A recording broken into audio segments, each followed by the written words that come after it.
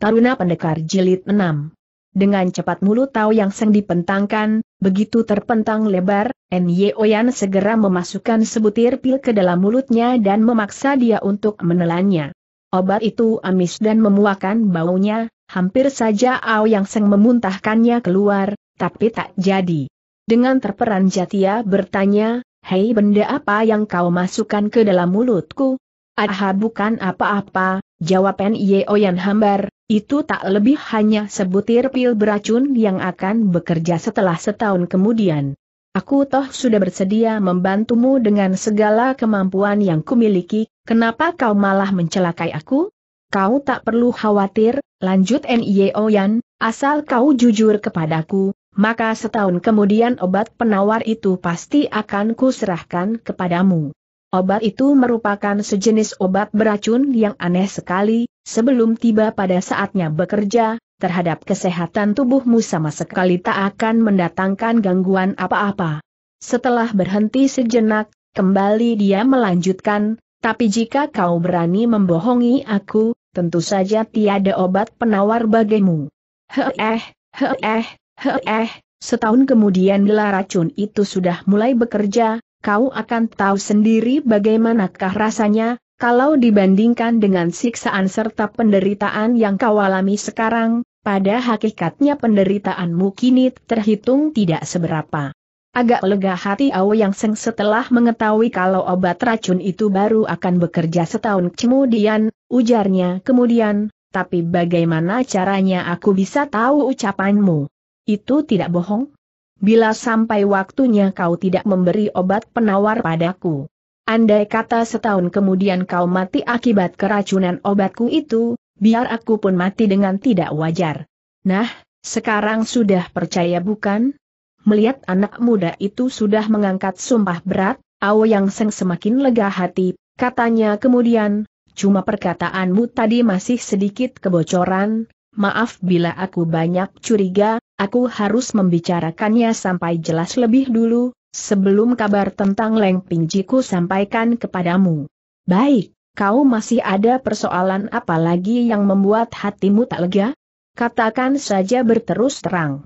Setelah ku sampaikan kabar Leng Pingji kepadamu nanti, kau harus segera membebaskan jalan darahku yang tertotok dan memberi aku kesempatan untuk kabur dari sini, kalau tidak, Bila kau biarkan aku mati kelaparan di sini dan bukannya mati akibat keracunan, bukankah kau pun tak usah menanggung risiko atas sumpahmu Tem? Oha, rupanya kebocoran inilah yang kau maksudkan, kata N.I. Oyan Sambi, tertawa, baik, katakan saja semua yang menjadi unek-unek dalam hatimu, asal cocok pasti akan kukabulkan. Sementara dalam hati kecilnya diam-diam ia tertawa geli, pikirnya, masih ada satu kebocoran lain yang tak akan kau temukan untuk selamanya. Ternyata pil yang dicekukkan ke dalam mulut Tau yang seng tadi bukan obat racun, melainkan daki yang ada di tubuhnya. Setahun kemudian, sudah barang tentu dia tak akan mengalami kematian akibat keracunan obat beracun tersebut, dan ia pun tak perlu memberikan obat penawar kepadanya karena ia tidak terkena racun, secara otomatis sumpah berat yang diucapkan N.I.O. yang tadi hanya suatu gurauan belaka. Walaupun demikian, sumpah berat yang diucapkan N.I.O. yang tadi, tak bisa disangka lagi merupakan obat penenang bagi Yang Seng, dengan perasaan yang lebih lega dia berkata, ya, sebetulnya kejadian ini cukup mengkhawatirkan, sebab Leng Pingji kini sudah terjatuh ke tangan Toan Kiam Cheng. Kali ini giliran N.I. Oyan yang terperanjat sekali, buru-buru tanyanya bagaimana ceritanya sehingga bisa terjatuh ke tangan Toan Kiam Cheng? Asal kau bersedia mengampuni dosaku, aku baru akan menceritakannya. Sudah kukabulkan tadi, semua kesalahan yang pernah kau lakukan di masa lalu, tak akan kusinggung kembali. Akulah pembantu utama Toan Kiam Cheng yang menjebak Leng Pingji. Dengan cepat N.I. Oyan menyadari apa yang telah terjadi, katanya kemudian, Oha, rupanya kau menyaru sebagai diriku, membohonginya hingga percaya, kemudian diam-diam mencelakainya? Sedang dalam hati kecilnya dia berpikir, aku sudah berpisah selama tujuh tahun dengan Encileng, Tak heran kalau ia mudah ditipu oleh kawanan manusia laknat ini. Sementara itu Aoyang Seng manggut-manggut membenarkan. Benar, aku mendapat perintah dari Toan Kiam Cheng untuk secara diam-diam mencelakainya, cuma akhirnya bukan saja aku gagal untuk mencelakainya, hampir saja aku mencelakai diriku sendiri. Secara ringkas dia lantas menceritakan bagaimana pada saat itu dia menyaru sebagai N.I.Yan untuk membohongi Leng Pingji, pura-pura mengajak Leng Pingji mencari Toan Kiam Cheng, kemudian memotong rotan pengayomnya, siapa tahu rencana itu gagal hingga Leng Pingji berhasil melarikan diri. Selesai mendengar penuturan Nao Yang Seng, N.Y.O.Yan lantas berkata, kalau begitu, nasib Leng Pingji selanjutnya kau tidak tahu. Ya ah, apa yang kemudian terjadi memang tidak ku ketahui. Tapi menurut dugaanku, setelah berhasil meloloskan diri, Leng Pingji pasti akan kembali lagi untuk mencari Lomana. Aku rasa ia tak akan berhasil meloloskan diri dari cengkeraman Toan Kiam Cheng. Siapa yang bertugas menjaga Lomana? Kakak misanku yang bernama Ouyang Si. Ilmu silat yang dimilikinya jauh di atas kepandaianku. Sekalipun ia dapat mengalahkan kakak misanku itu, belum tentu bisa membawa Lomana turun dari Bukit Soat Hong. Apalagi kalau sampai bertemu dengan Toan Kiam Cheng yang sedang pulang, mereka lebih sulit lagi untuk melarikan diri. Toan Kiam Cheng pergi ke mana? Ia pergi mencari ayah Lomana yang bernama Lohai, kalau begitu, belum tentu mereka berada di atas bukit. Soat Hang sekarang? Aku sendiri pun tidak tahu apa yang bakal terjadi setelah Toan Kiam Cheng pergi mengunjungi Lohai di Lor Anki, andai kata usahanya gagal, sudah pasti tidak akan kembali lagi ke Bukit Soat Hong. Cuma ada baiknya kau mencari Lohai lebih dulu, sebab kau bisa M, mendapat. Kan berita tentang Toan Kiam Cheng maupun Leng Pingji darinya. Setelah N.I. Oyan menanyakan letak Bukit Soat Hang serta alamat Lomana, ia berkata lebih jauh, apakah masih ada soal lain yang hendak kau sampaikan kepadaku? Apa yang ku ketahui hanya sebegini, harap. Tidak menanti ia menyelesaikan kata-katanya, N.Y. Oyan telah membalikan tubuhnya dan berlalu dari situ. Awo yang seng menjadi amat terperanjat, segera teriaknya keras, Hei, hei, kau toh sudah berjanji. Belum habis perkataan itu diucapkan, terdengar desingan angin tajam menyambar lewat, tahu-tahu sebuah batu telah menghajar telak jalan darah Tian Ki Hiat di atas dada Yang Seng. Jalan darah Tian Ki Hiat merupakan jalan darah kematian di tubuh manusia, tapi anehnya bukan saja Yang Seng tidak mati, malahan dia merasakan tubuhnya sangat enteng, darah dalam tubuhnya beredar kembali dengan lancar, tanpa terasa ia melompat bangun. Awo yang seng termangu-mangu setelah bangkit kembali seperti baru sadar dari lamunannya dia baru tahu sekarang bahwa N.I. Oyan telah membebaskan totokan jalan darahnya. Rupanya N.I. Oyan buru-buru melakukan perjalanan, maka seratus langkah kemudian ia baru menyambitkan sebutir batu. Untuk membebaskan jalan darahnya yang ketotok. Seolah-olah di atas punggungnya mempunyai sepasang metu saja, Sambitannya itu jitu sekali. Kemampuan untuk menyambit jalan darah lawan dengan getaran tenaga dalam sesungguhnya sudah terhitung semacam kepandaian Weng sangat aneh, apalagi melepaskan batu untuk membebaskan totokan jalan darah, yang justru merupakan jalan darah kematian, hal ini lebih mencengangkan. Setelah termangu-mangu beberapa saat kemudian, Ao Yang Seng merasa girang bercampur terkejut, girang karena selembar jiwanya berhasil diraih kembali, terkejut karena ilmu silat yang dimiliki N.I. Oyan begitu anehnya, mungkin Toan Kiam Cheng sendiri pun belum tentu mampu menghadapinya. Dengan membawa perasaannya yang gundah ia lantas berpikir, lebih baik aku pulang dulu mencari Toako, dan menceritakan pertemuanku dengan N.I. Oyan ini, agar dia bisa bersiap-siap menghadapinya. Andai kata Lomanah masih berada di tangannya, hal ini jauh lebih baik lagi, kami bisa menyembunyikan Lomana di suatu tempat, sambil menunggu penyelesaian dari persoalan ini. Andai kata bocah keparat itu tak sanggup membunuh Toan Kiam Cheng, sebaliknya kena dibunuh Toan Kiam Cheng, Tindakanku mengamankan Lomana juga terhitung suatu pahala untuk menebus dosa. Tentu saja bocah keparat itu akan pergi ke tempat Lohai U untuk mencari Toan Kiam Cheng lebih dulu, mustahil dia akan langsung pergi mencari Lomana. Padahal dari mana dia tahu kalau perhitungannya itu tak lebih cuma hitungan khayal belaka, waktu itu Lomana telah berhasil diselamatkan oleh Leng Pingji.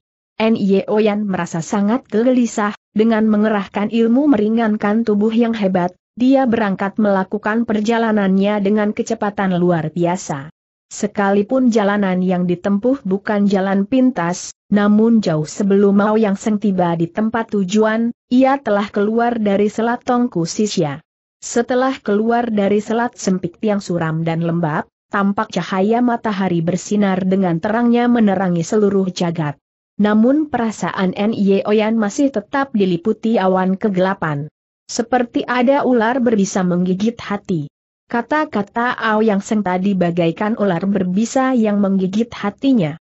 Sambil mengertak gigi, ia berseru dengan penuh kebencian, betul, dia adalah seorang manusia rendah yang tak tahu malu.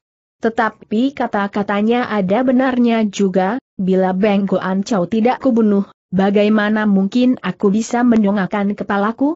Walaupun ia ingin cepat-cepat menolong Leng Pingji, namun dalam hatinya ia agak mendongkol juga terhadap gadis itu, pikirnya lebih lanjut, Gihu adalah sahabat karib Beng Goan ia tidak ingin aku tahu asal-usulku masih bisa diterima.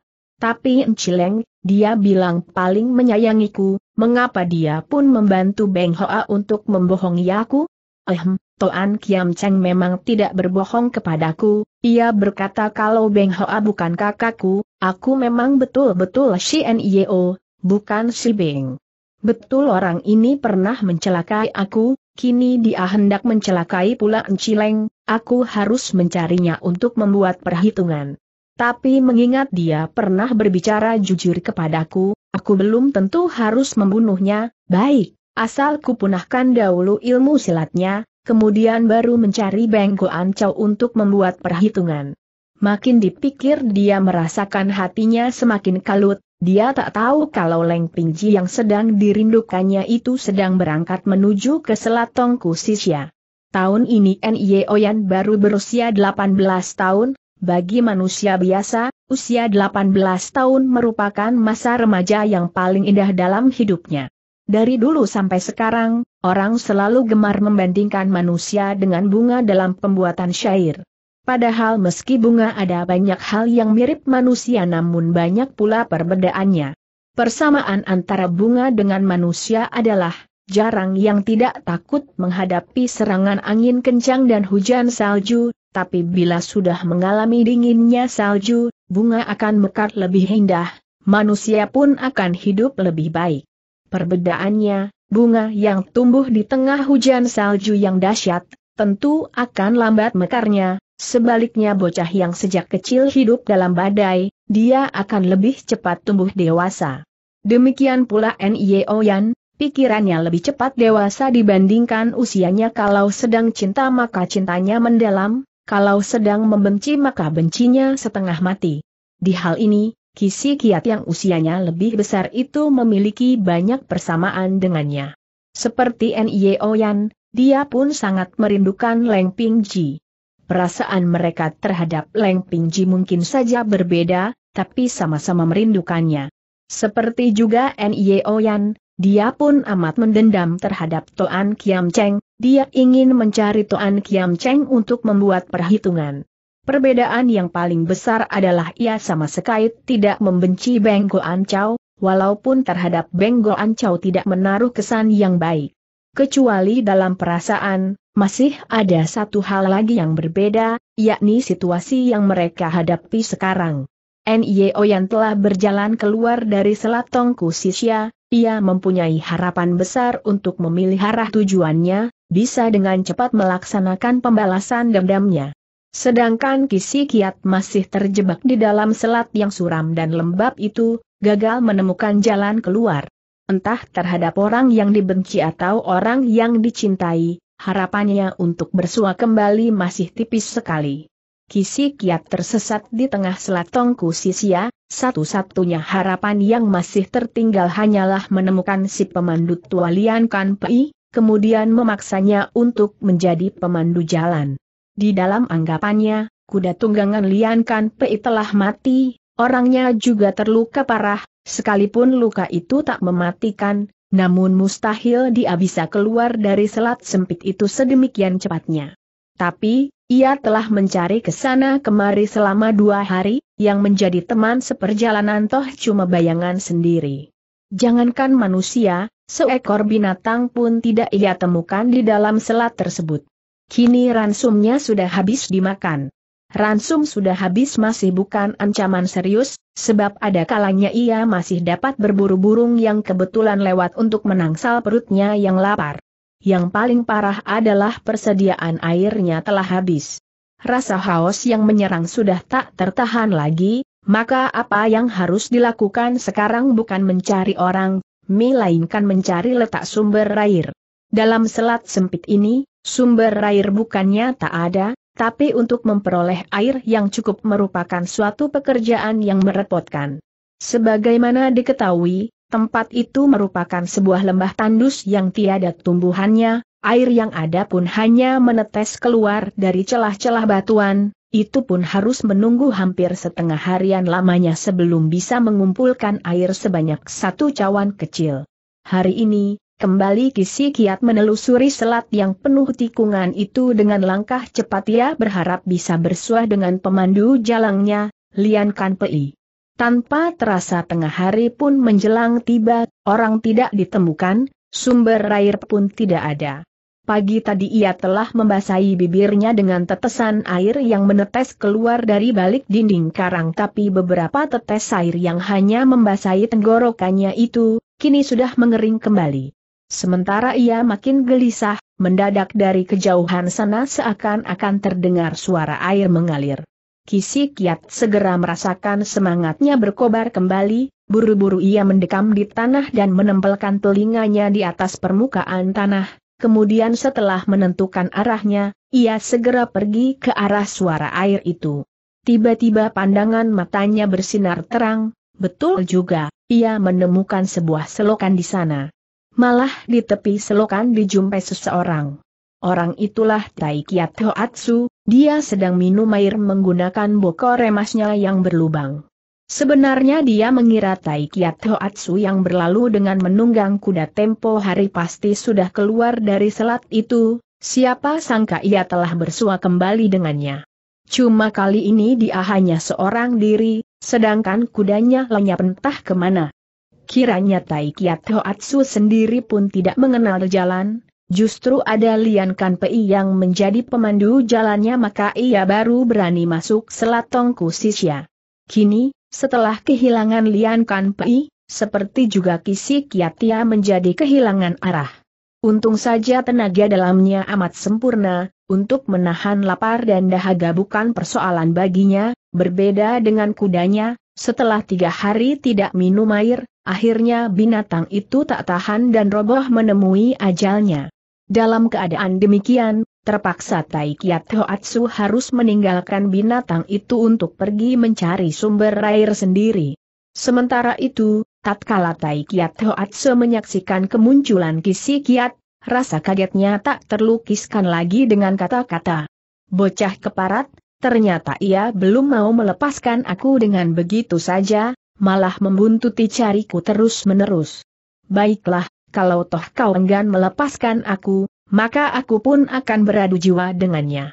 Hari ini, kalau bukan dia yang mati, biar akulah yang mampus. Tai Kiat Hoatsu segera melompat bangun, air yang berada dalam bokor remasnya berceceran di tanah, sambil melintangkan toyanya di depan dada, ia bersiap siaga menghadapi segala kemungkinan. Melihat itu, Kisi Kiat segera tertawa, ujarnya, Toa Asio, Aku bukan datang untuk mencari gara-gara denganmu, asal kau tak ingin membunuhku, mengapa pula aku mesti beradu jiwa dengan dirimu? Tai Kiat Hoatsu menghembuskan napas lega, tanyanya kemudian, kenapa kau masih berada di sini? Aku tersesat. Mengapa dia tidak membawamu keluar dari sari? Apakah kalian tidak berbicara apa-apa? Atau dia telah kau bunuh? Kisi Kiat mengerti, yang dimaksudkan sebagai dia oleh Tai Kiat Hoatsu adalah pemuda yang mengaku bernama Tong Put Chi itu, maka sahurnya, aku telah berbincang-bincang dengannya, cuma ia telah pergi. Tai Kiat Hoatsu makin terperanjat dibuatnya, segera dia berkata, kalau toh kalian telah berbincang-bincang, maka seharusnya kalian sudah saling mengetahui siapakah lawannya, kenapa ia masih pergi seorang diri. Tergerak hati Kisi Kiat sesudah mendengar perkataan itu, buru-buru serunya, Tai Kiat Hoatsu, aku memang ingin bertanya kepadamu, siapakah sahabatmu itu? Masa ia tidak memberitahu namanya kepadamu? Beritahu sih beritahu. Cuma dia bilang dia bernama Tong Putci, aku rasa ini nama palsu. Apakah kau telah memberitahukan namamu kepada dia? Begitu selesai bertarung, aku lantas menyebutkan namaku. Aku toh bukan buronan yang takut ditemukan orang, mengapa aku harus merahasiakan namaku yang sebenarnya? Setelah dia tahu kalau kau bernama Kisi Kiat, apakah ia masih tetap mempergunakan Putci sebagai namanya? Betul, dia bilang ia adalah anak yatim piatu, maka dia sendiri pun tidak mengetahui asal-usul sendiri. Tiba-tiba Tai Kiat Hoatsu mendongakkan kepala lalu tertawa terbahak-bahak, haah, haah, haah. Tong Putci, Tong Putci. Dulu mungkin kau memang belum tahu, Putci, setelah berjumpa seharusnya dirimu sudah mengetahui, tapi mengapa masih mengatakan Putci? Betul-betul membuat aku pun turut kebingungan. Sebenarnya siapa nama orang itu? cepat beritahukan kepadaku pinta kisi kiat. Saking ingin cepat-cepat mengetahui persoalan ini, ia menatap wajah Tai Kiat Hoatsu dengan sorot metu yang mengerikan, ini membuat Tai Kiat Hoatsu menjadi ketakutan setengah mati sehingga tak berani tertawa. Kau datang ke wilayah Sin Kiang ini untuk mencari siapa tanya pendeta itu kemudian. Toa Hwasio, bukankah pertanyaanmu itu sudah tahu pura-pura bertanya? Aku percaya rekan muliankan Pei pasti telah memberitahukan hai ini kepadamu, aku datang untuk mencari adik misanku N.Y. Oyan. Nah, pemuda yang mengaku bernama Tong Put Chi itu bukan lain adalah adik misanmu sendiri, N.Y. Oyan kata Tai Kiat Hoatsu. Kisi Kiat terperanjat sekali, segera jeritnya tertahan, dia N.Y. Oyan? Benarkah perkataanmu itu? Buat apa aku mesti membohongi dirimu? Terus terang saja, pada waktu itu aku khawatir jika dia membantu dirimu karena masih terkait hubungan famili, maka aku cepat-cepat mengambil langkah seribu. Seperti telah diketahui, tempo hari ia sedang kita terhebat melawan Kisi Kiat ketika N.Y. Oyan secara kebetulan datang, dia tahu N.Y. Oyan dan Kisi Kiat adalah saudara Misan, oleh sebab itu dalam saat kritis, dia hanya bisa memohon kepada N.Y. Oyan agar menahan serangan baginya untuk sementara waktu. Dia pun tahu, pada awal perjumpaan sudah pasti mereka tak akan tahu siapa gerangan lawannya, tapi begitu rahasia terungkap, bisa jadi dua bersaudara misan ini akan bekerja sama untuk mengerubutinya. Kisi Kiat menjadi tertegun untuk beberapa saat lamanya, kemudian ia berseru, kalau memang dia adalah N.Y. Oyan, mengapa ia tidak mau mengaku? Kenapa dia malah pergi seorang diri? Kau bertanya padaku, lantas mesti aku bertanya pada siapa?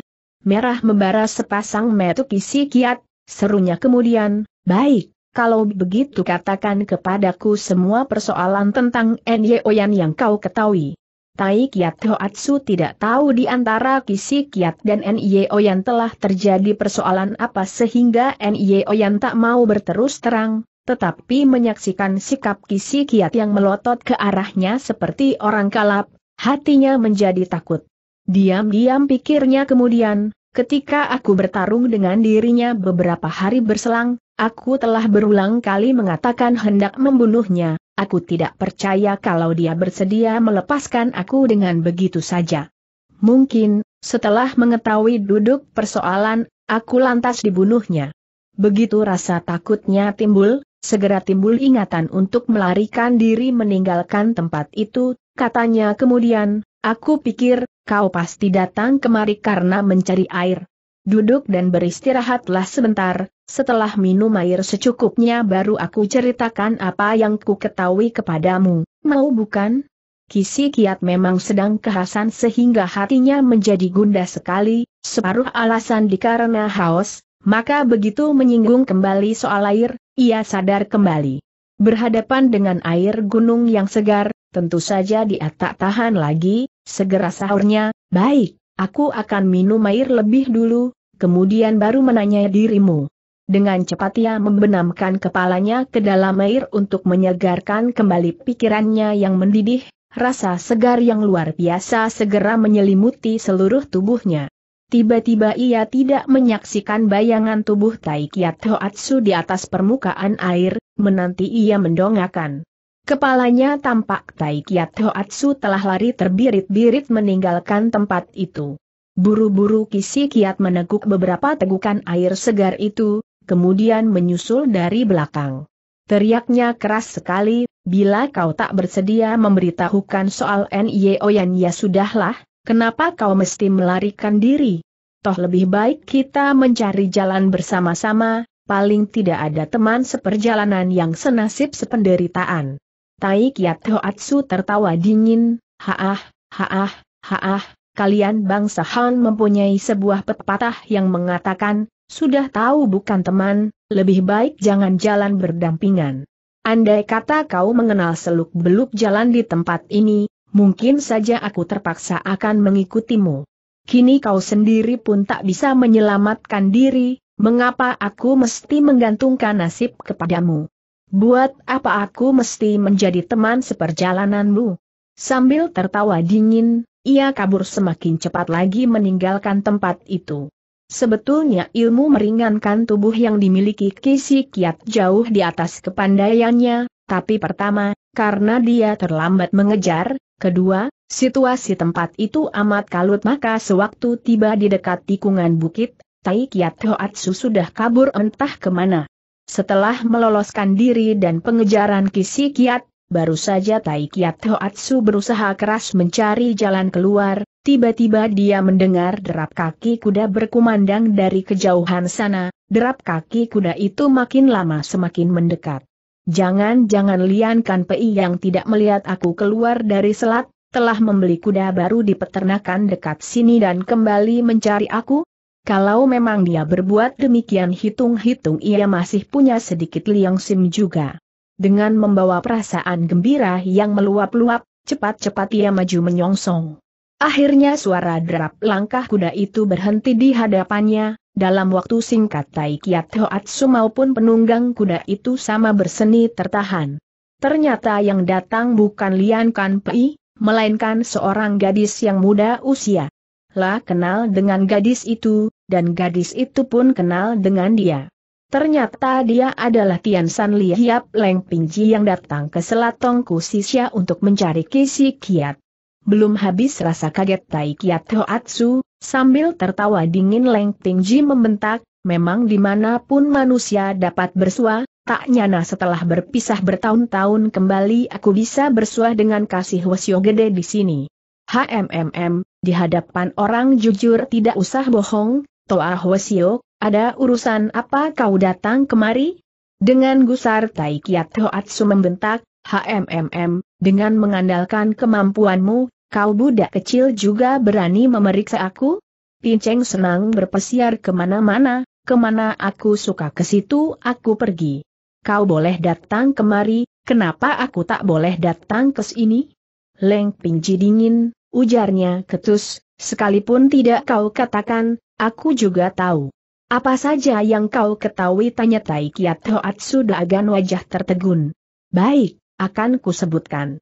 N.Y. Oyan yang telah mengajakmu kemari, tujuannya untuk membunuh Kisi Kiat, bukankah begitu?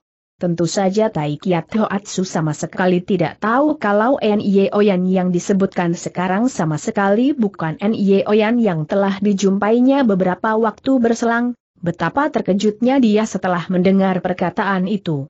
Walaupun apa yang diduga tidak betul 100%, tapi tidak sedikit juga yang dia ketahui, demikian pikirnya. Leng Pingji bisa menduga begitu bukanlah sama sekali tanpa sebab. Kiranya walaupun Tai Kiat Hoatsu adalah murid pertama dan Silo Hoatsu dan merupakan seorang jago lihai dari perguruannya, namun watak orang ini sama sekali berbeda dengan tabiat gurunya bukan saja ia tak dapat menjauhkan diri dari kemewahan duniawi, nafsunya untuk memperoleh nama dan kedudukan juga besar sekali dulu, Sewaktu ia kengsu pembantu dari Istana Butara di Lhasa, hubungannya dengan Wei Peng seorang jago lihai dari pemerintah Cheng yang diutus ke Lhasa akrab sekali, bahkan mereka saling memperalat. Ketika dua orang pendeta sakti dari negeri Tiantok dengan membawa anak muridnya naik ke buku Tiansan untuk beradu kepandaian dengan Tengkeng Tran, Lo Chiang Bunjin Partai Tiansan, Peristiwa itu pun berkat hasutannya sedang orang yang menyusun rencana di balik layar tak lain adalah Wei Topeng. Sekalipun rencana keji dari Wei Topeng ketika itu mengalami kegagalan total, namun kerugian yang diderita pihak Tian San Pei pun tidak sedikit. Duduk perkara dari semua peristiwa ini baru diketahui sejelas-jelasnya oleh pihak Tian San Pei jauh setelah peristiwa itu berlangsung. Kemudian, Ketika Toan Kiam Cheng kabur dari Bukit Tiansan, ada pula yang menjumpai dia melakukan perjalanan bersama Tai Kiat Hoatsu. Sampai detik itu, Leng Pingji masih belum tahu kalau orang yang membohonginya adalah N.I. Oyan Gandungan, di dalam anggapannya Yan Oyan telah 100% condong ke pihak Toan Kiam Cheng dan membantu orang-orang yang sedang melakukan perbuatan jahat Tai Kiat Hoatsu berkomplot pula dengan Toan Kiam Cheng, dari sini bisa diketahui kalau Tai Kiat Hoatsu pasti diutus untuk membantu usaha N.I. Oyan. Itulah sebabnya, begitu memasuki Selat Tongku Sisia dan bertemu dengan Tai Kiat Hoatsu, Tak bisa dihindari lagi ia mencurigai pendeta itu diajak En Yoyan untuk mencelakai Kisi Kiat. Kini, sewaktu dilihatnya paras muka Tai Kiat Hoatsu berubah hebat, ia semakin percaya kalau dugaannya tak salah, segera bentaknya, kalian telah apakan Kisi Kiat. Kalau tidak kau terangkan, tak nanti aku lepaskan dirimu. Tai Kiat Hoatsu tertawa dingin. Jika kau ingin mencari Kisi Kiat, silakan mencarinya sendiri, apa urusannya dengan diriku? Kurang ajar, kau berani mengatakan kalau kau bukan datang untuk mencelakai Kisi Kiat bentak Leng Pingji dengan gusar. Tai Kiat Hoatsu segera berpikir, jangan-jangan liankan Pei telah dibekuknya. Kalau tidak, dari mana ia bisa tahu kalau Kisi Kiat berada di sini? Dia mengira Leng Pingji telah mengetahui duduk perkara yang sebenarnya, tapi dia pun tidak memandang sebelah mata kemampuan Leng Pingji, maka dengan angkuh sahurnya, betul, aku memang ingin menjajal ilmu silatnya, setelah kudengar Kisi Kiat berhasil mendapatkan kitab pusaka warisan Kui Hoa Seng. Tapi aku tidak membunuhnya, aku hanya tahu kalau kini ia berada bersama N.I. Oyan. Mi mandang hubungan partaimu dengan Kui Lante Ousi kami, Aku bersedia memberitahukan hal ini kepadamu. Nah, kau tak usah banyak berbicara lagi. Dalam anggapannya ucapan tersebut sudah cukup sungkan, siapa tahu justru makin mengejutkan dan menggusarkan Leng Pingji. Dari ucapan Tai Kiat Hoatsu barusan, ia mendapat tahu kalau Kisi Kiat benar-benar telah bertemu dengan N.I. Oyan, dalam anggapannya, Kisi Kiat telah tertipu oleh N.I. Oyan. Kontan dia meloloskan pedangnya lalu membentak keras, N.Y.O yang telah menipunya ke mana? Tai Kiat Hoatsu sendiri pun ikut naik darah menyaksikan kekasaran orang, ia mendengus, kemudian setelah tertawa dingin katanya, suhumu sendiri tak berani begitu kurang ajar kepadaku, jangankan aku memang tak tahu, sekalipun tahu juga tak akan ku beritahukan kepadamu. Mau apa kau? Kau tahu juga boleh, tidak tahu juga boleh, Pokoknya aku tetap akan memaksamu untuk menemukan kembali kedua orang itu, kata Leng Pingji dingin, kalau tidak. Kalau tidak kenapa jengek Tai Kiat Hoatsu sambil tertawa dingin. Kalau tidak, jangan harap aku akan melepaskan dirimu meninggalkan selat ini. Padahal dari mana dia bisa tahu kalau Tai Kiat Hoatsu sedang kesal karena tak mampu meninggalkan selat tersebut, Tergerak hatinya setelah mendengar perkataan Leng Pingji itu, pikirnya, kebetulan sekali kedatangan budak ini, mengapa tidak kubekuk dirinya dan memaksanya untuk menunjukkan jalan keluar lah berani kemari, sudah pasti tahu jalan keluar selat ini. Sementara Leng Pingji telah mempersiapkan diri baik-baik, setelah menyaksikan paras muka pendeta itu berubah tak menentu, pedang mestika pengpok Hong Kong Kiam diayunkan ke udara, kemudian tegurnya, rencana busuk apa yang sedang kau susun? Aku tak punya waktu untuk menunggumu lagi, ayo katakan, sebetulnya kau bersedia menjawab atau tidak? Kurang ajar bentak Tai Kiat Hoatsu gusar. Dengan mengandalkan kemampuanmu, kau si budak kecil pun berani menganiaya aku. Disertai desingan angin tajam, toya bambu hijaunya segera menotok ke depan, secepat sambaran kilat menyambar jalan darah Cian Keng Hiat di bahu kanan Leng Pingji. Sewaktu berada di Bukit Tian San tempo hari, Leng Pingji sudah pernah menyaksikan kelihayan ilmu silatnya, dia cukup tahu kalau musuhnya ini amat tangguh. Cahaya pedang segera berkilauan, dengan membentuk gerakan setengah lingkaran dia melindungi tubuh bagian atas dan tengah, lalu dengan cepat balik membabat ke depan. Inilah jurus pembukaan dari ilmu pedang Tian San Kiam Hoat yang dinamakan Im Soh Tian San, awan mengunci bukit Tian San. Gagal menerjang ke depan, Perang pedang dan Toya Tai Kiat Hoatsu segera saling membentur satu sama lainnya hingga menimbulkan percikan bunga api, namun kedua belah pihak sama-sama tidak menderita luka apa-apa. Tapi anehnya, sewaktu terjadi percikan bunga api tadi, segulung hawa dingin yang merasuk tulang menyerang ke dalam tubuhnya, sekalipun Tai Kiat Hoatsu memiliki tenaga dalam yang amat sempurna pun tak urung dibikin bergidik juga sehingga bersin berulang kali. Leng Ping JJ sendiri pun merasa terperanjat sekali ketika gagal memutuskan toya bambu lawan, segera pikirnya, untung saja suhu menghadiahkan pedang mestika ini kepadaku, coba kalau ku pergunakan pedang biasa, sudah pasti aku bakal menderita kerugian besar pada saat ini. Walaupun Tai Kiat Hoatsu dibikin bergidik, tapi tenaga dalam yang dimilikinya toh masih jauh lebih unggul daripada N.Y. Oyan Gadungan, hawa dingin yang menyengat badan, tak lebih hanya mendatangkan sedikit pengaruh saja, begitu hawa muminya disalurkan, segala sesuatunya menjadi pulih kembali seperti sedia kala. Setelah terkejut, tanpa terasa ia pun menjadi teringat kembali dengan suatu hal yang pernah didengar dari Lian Kan Pei, dengan cepat dia mundur selangkah, lalu dengan wajah terkejut bercampur girang tanyanya, budak busuk, rupanya pedang yang berada di tanganmu itu adalah pedang mestika pengpok Hong Kong Kiam? Perlu diketahui, pedang pengpok Hong Kong Kiam merupakan benda mestika yang menjadi incaran setiap umat persilatan di dunia ini, bagaimana mungkin Tai Kiat Hoatsu tidak tertarik hatinya? Anggap saja kau memang memiliki mata yang tajam, puji Leng Ping Ji.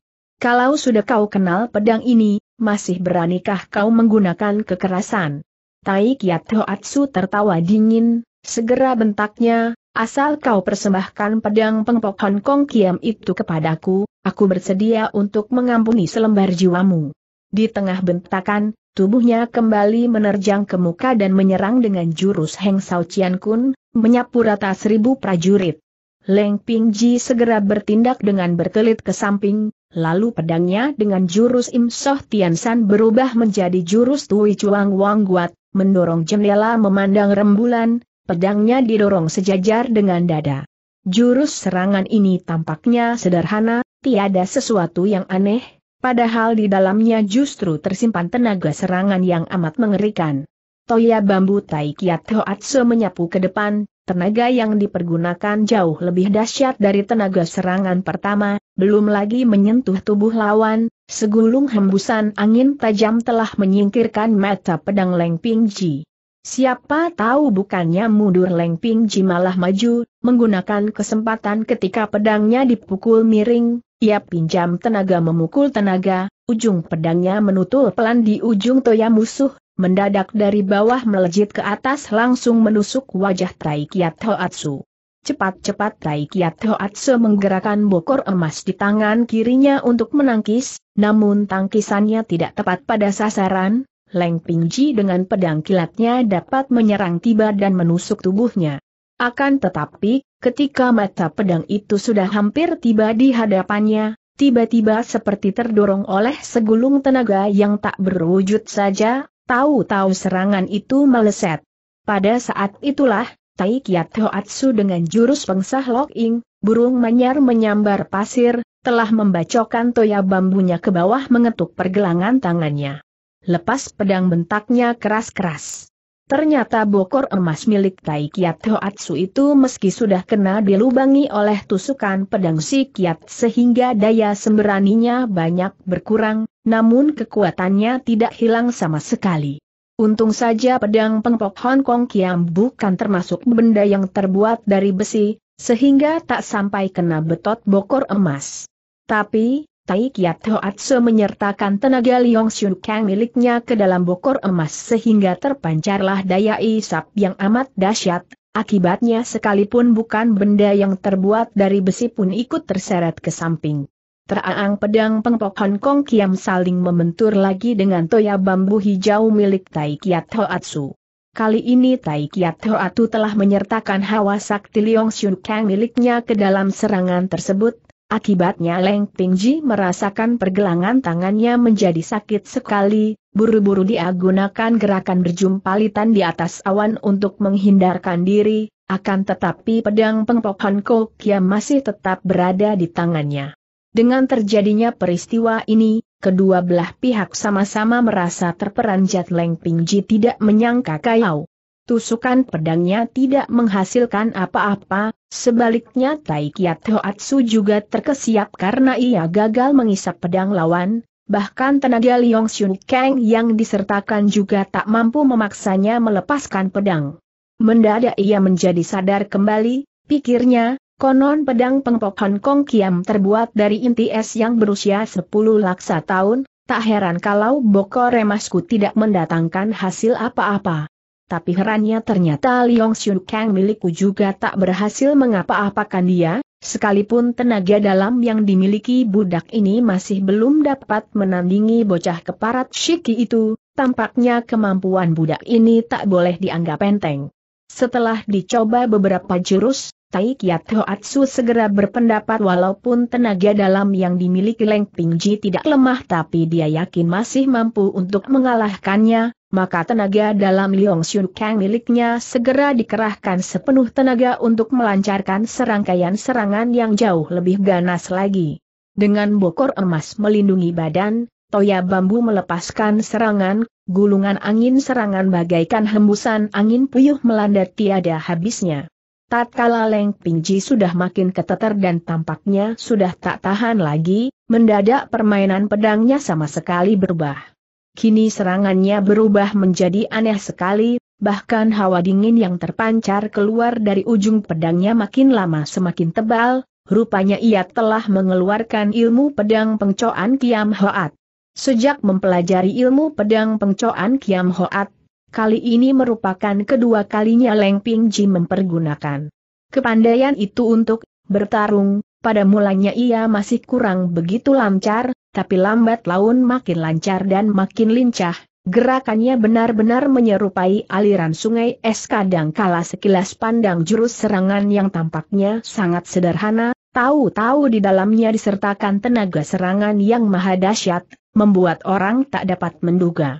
Tiap kali serangannya tiba, tampak cahaya tajam berkilauan, hawa pedang menyelimuti angkasa, toya bambu hijau Tai Kiat Hoatsu segera terkurung rapat-rapat.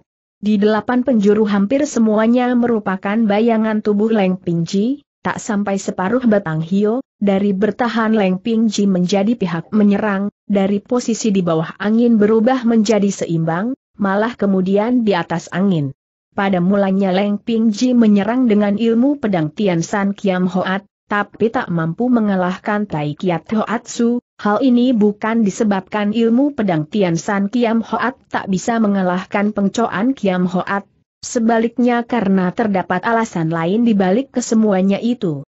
Pertama, Tai Kiat Su pernah menyaksikan ilmu pedang Tian San Kiam Hoat, sekalipun tidak hafal dengan kelihayan serangan tersebut, namun sebagai seorang yang mempunyai ilmu yang dalam, Sudah barang tentu dia merasa jauh lebih gampang menghadapi ilmu pedang yang pernah dilihat daripada yang belum pernah dilihatnya. Ilmu pedang pengcoan Kiam Hoat belum pernah dilihat olehnya, tiap jurus yang dipergunakan Leng Pingji tak bisa diduga olehnya, kadang kala sebuah jurus serangan yang kelihatannya sederhana, sewaktu akan dihadapi ternyata berubah menjadi lihai sekali.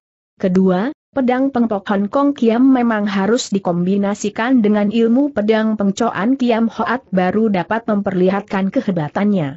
Hawa dingin yang memancar keluar dari ujung pedang tersebut makin lama semakin tebal kendati pun Tai Kiat Hoatsu memiliki tenaga dalam yang amat sempurna, lama-kelamaan ia merasa tubuhnya bagaikan terperosok ke dalam gua salju, hampir saja tak sanggup untuk menahan diri. Dalam keadaan apa boleh buat terpaksa dia harus melawan jurus-jurus serangan dari Leng Pingji sambil mengerahkan tenaga dalamnya untuk melawan hawa dingin yang kian lama kian merasuk ke dalam tulang sumsumnya. Sebenarnya dia lebih tangguh dalam hal tenaga dalam dari Leng Pingji tapi karena harus membagi tenaga dalamnya, otomatis ia menderita kerugian yang besar sekali. Untung saja tenaga dalam Liong Xiu Kang miliknya bisa digunakan untuk bertarung dalam jangka waktu yang cukup lama, apalagi Toya Ching Tio Chang serta Boko Remasnya masih terhitung benda-benda mestika dari dunia persilatan, dalam keadaan terburu-buru seperti memang agak sulit buat Leng Pingji untuk mengalahkan dirinya. Berjumpa lagi. Setelah kehilangan jejak Tai Kiat Hoatsu, dengan penasaran Kisi Kiat berusaha mencari ke sana kemari, mendadak ia mendengar suara beradunya senjata tajam lamat-lamat berkumandang datang dari kejauhan sana. Dengan keheranan dia lantas berpikir, heran, siapa yang sedang bertempur di dalam selat ini? Jangan-jangan aku telah salah dengar. Hampir saja dia mencurigai hal itu sebagai suara aneh yang pernah didengar dalam kota iblis dulu, tapi jelas suara itu merupakan suara benturan senjata tajam. Keadaan pemuda itu sekarang ibarat seseorang yang tersesat di tengah gurun pasir, mendadak dari kejauhan sana ia menemukan ada sumber air, tapi dia pun takut hal itu hanya fata morgana belaka. Menelusuri sumber suara itu, akhirnya dia berhasil menemukan tempat di mana Leng Pingji sedang bertarung melawan Tai Kiat Hoatsu. Kalau tadi ia tak berani mempercayai telinga sendiri, maka sekarang dia tak berani mempercayai metu sendiri.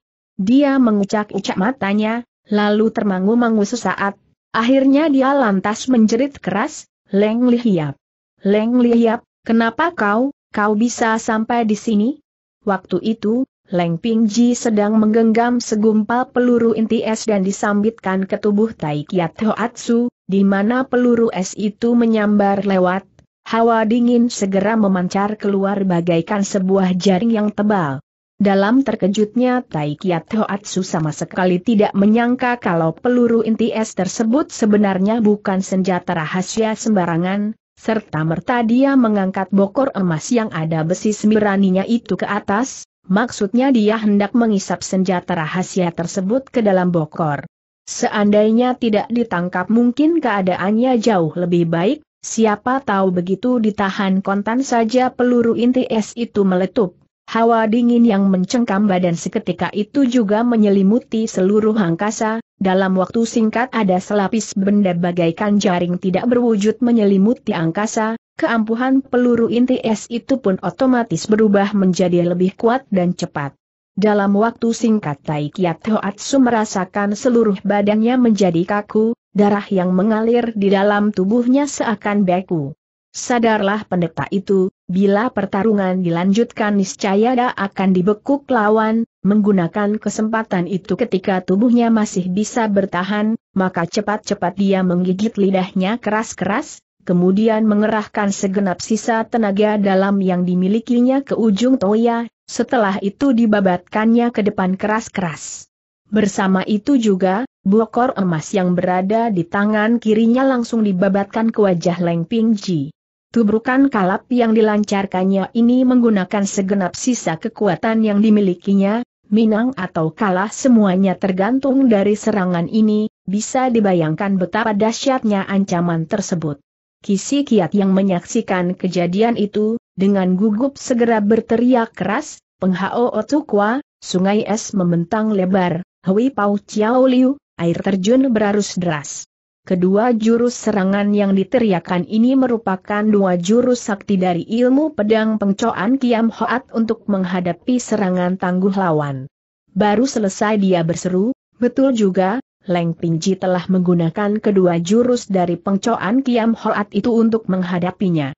Kisi Kiat menghembuskan napas lega, pikirnya kemudian, Walaupun kedua jurus serangan ini tidak memiliki kehebatan seperti apa yang diukir Kui Hoa Seng Tai Hiap di atas dinding batu, namun untuk menghadapi serangan tangguh dari Tai Kiat, aku yakin masih lebih dari cukup. Ketika ingatan tersebut melintas lewat, tampak toya bambu milik Tai Kiat Hoatsu benar-benar sudah terlepas dari cekalan, sementara bokor emas Yaak disambitkan ke arah Leng Pingji juga tidak mengena, malah terguling ke bawah tebing. Pucat pias paras Tai Kiat Hoatsu, serunya kemudian, Kisi Kiat, bunuhlah aku. Kisi Kiat tidak menanggapi ucapan itu, sebaliknya berkata, Leng Liap, harap kau suka memandang mukaku, lepaskan Toa Hosyo ini sebab aku telah meluluskan permintaan dari seorang sahabatku untuk tidak membunuhnya. Ternyata ia sudah teringat janjinya kepada N.Y. Oyan, bersamaan itu juga dia pun teringat hubungan antara N.Y. Oyan dengan Leng Pingji. Cuma pada saat ini bukan waktu yang tepat untuk membicarakan persoalan itu, maka untuk sementara waktu dia merahasiakan nama N.Y. Oyan.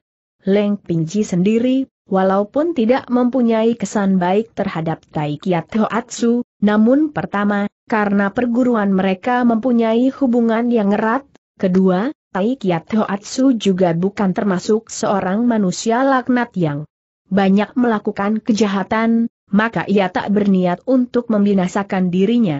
Itulah sebabnya setelah mendengar perkataan Kisi Kiat, dia lantas menyarungkan kembali pedang pengpok Hong Kong Kiam, setelah itu ujarnya dingin, kini kau pun tak usah membantu aku lagi, memandang di atas wajah Ki Hiap, kuampuni jiwamu.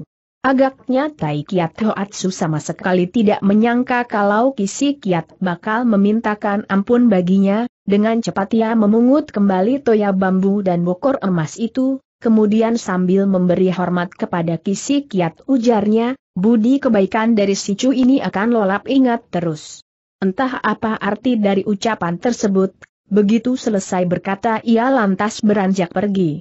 Kisi Kiat merasa gembira bukan kepalang setelah berjumpa dengan kekasih hatinya, waktu itu, ia sudah tak sempat lagi untuk mendalami maksud ucapan dari Tai Kiat Hoatsu, dengan cepat ia maju untuk bersuah dengan Leng Pingji.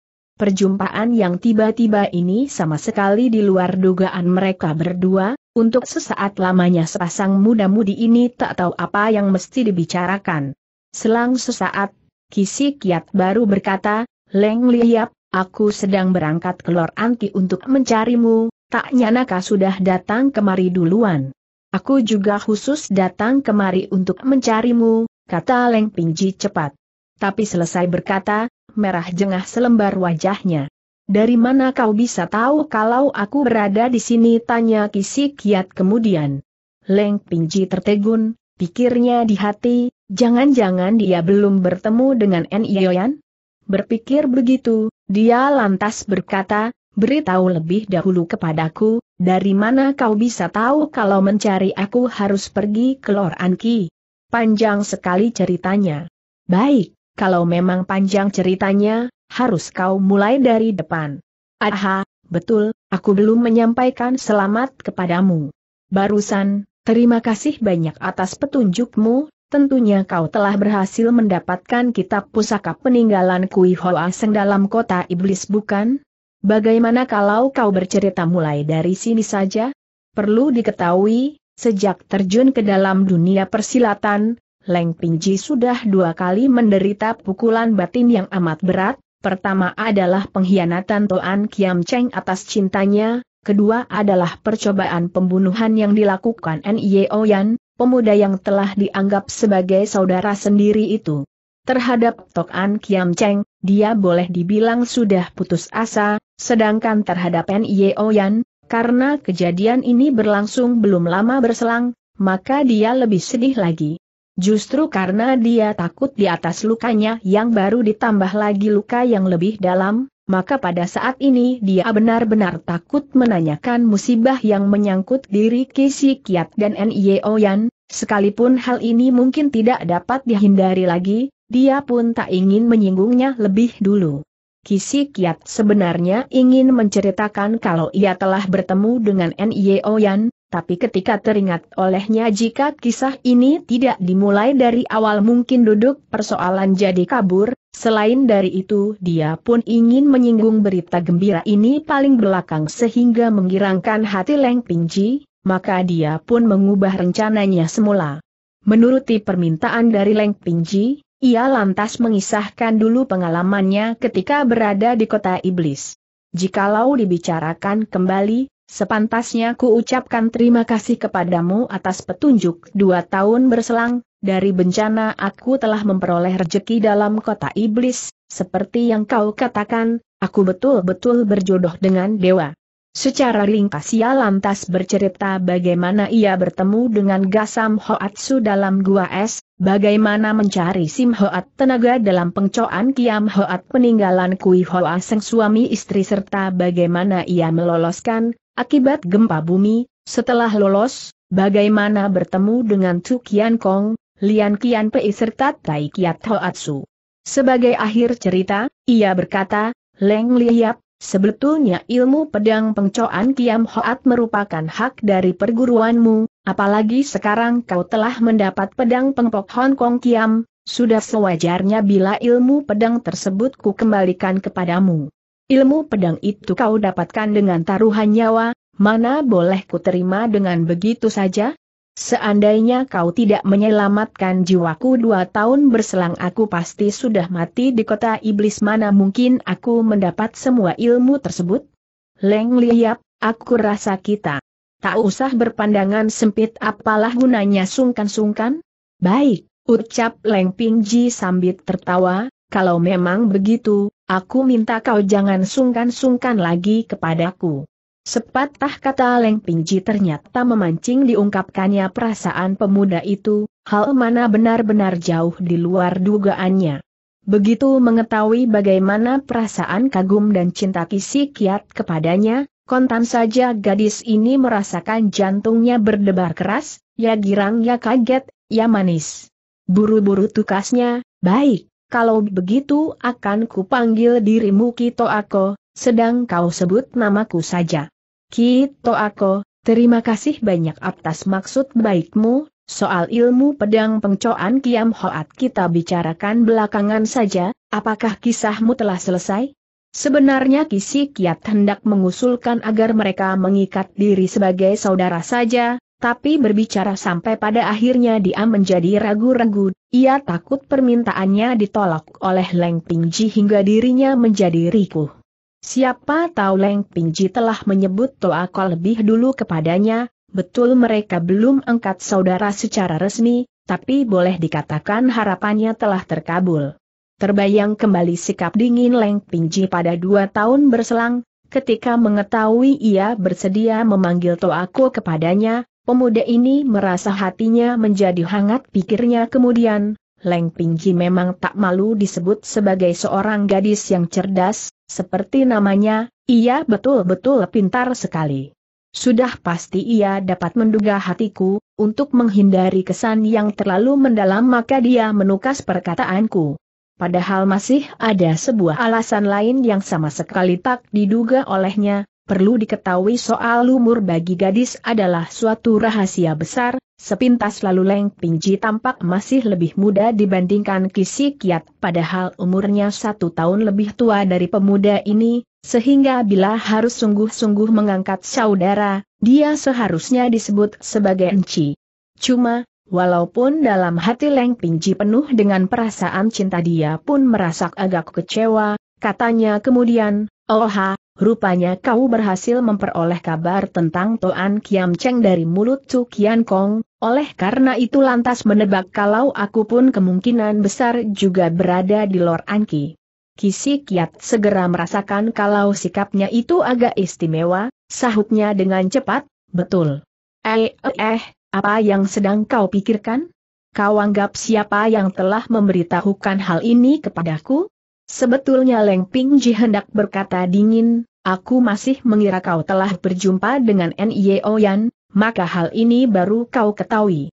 Sebab dia tahu, walaupun Nye Oyan tak akan berbicara jujur kepada Kisi Kiat, namun besar kemungkinannya dia memperoleh keterangan tentang dirinya dari mulut orang itu.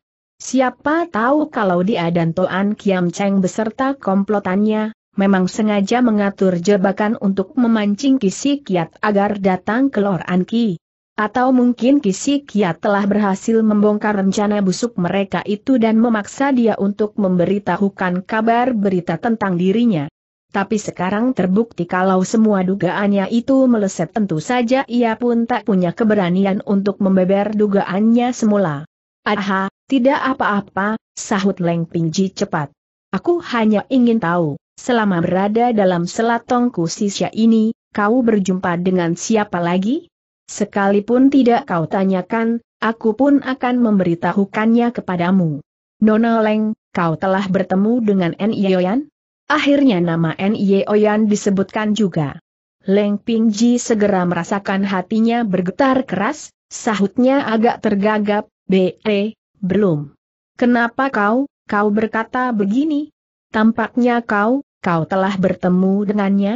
Benar, hal ini baru terjadi pada dua hari berselang dan di dalam selatongku sisia ini juga bukan cuma telah bersua dengannya, malah telah bertarung dengannya. Lantas di manakah dia sekarang seru Leng Pingji dengan suara gemetar, apakah kau, telah membunuhnya? Dalam jalan pikirannya, hanya ada dua kemungkinan apabila Kisi Kiat sampai berjumpa dengan Nye Oyan.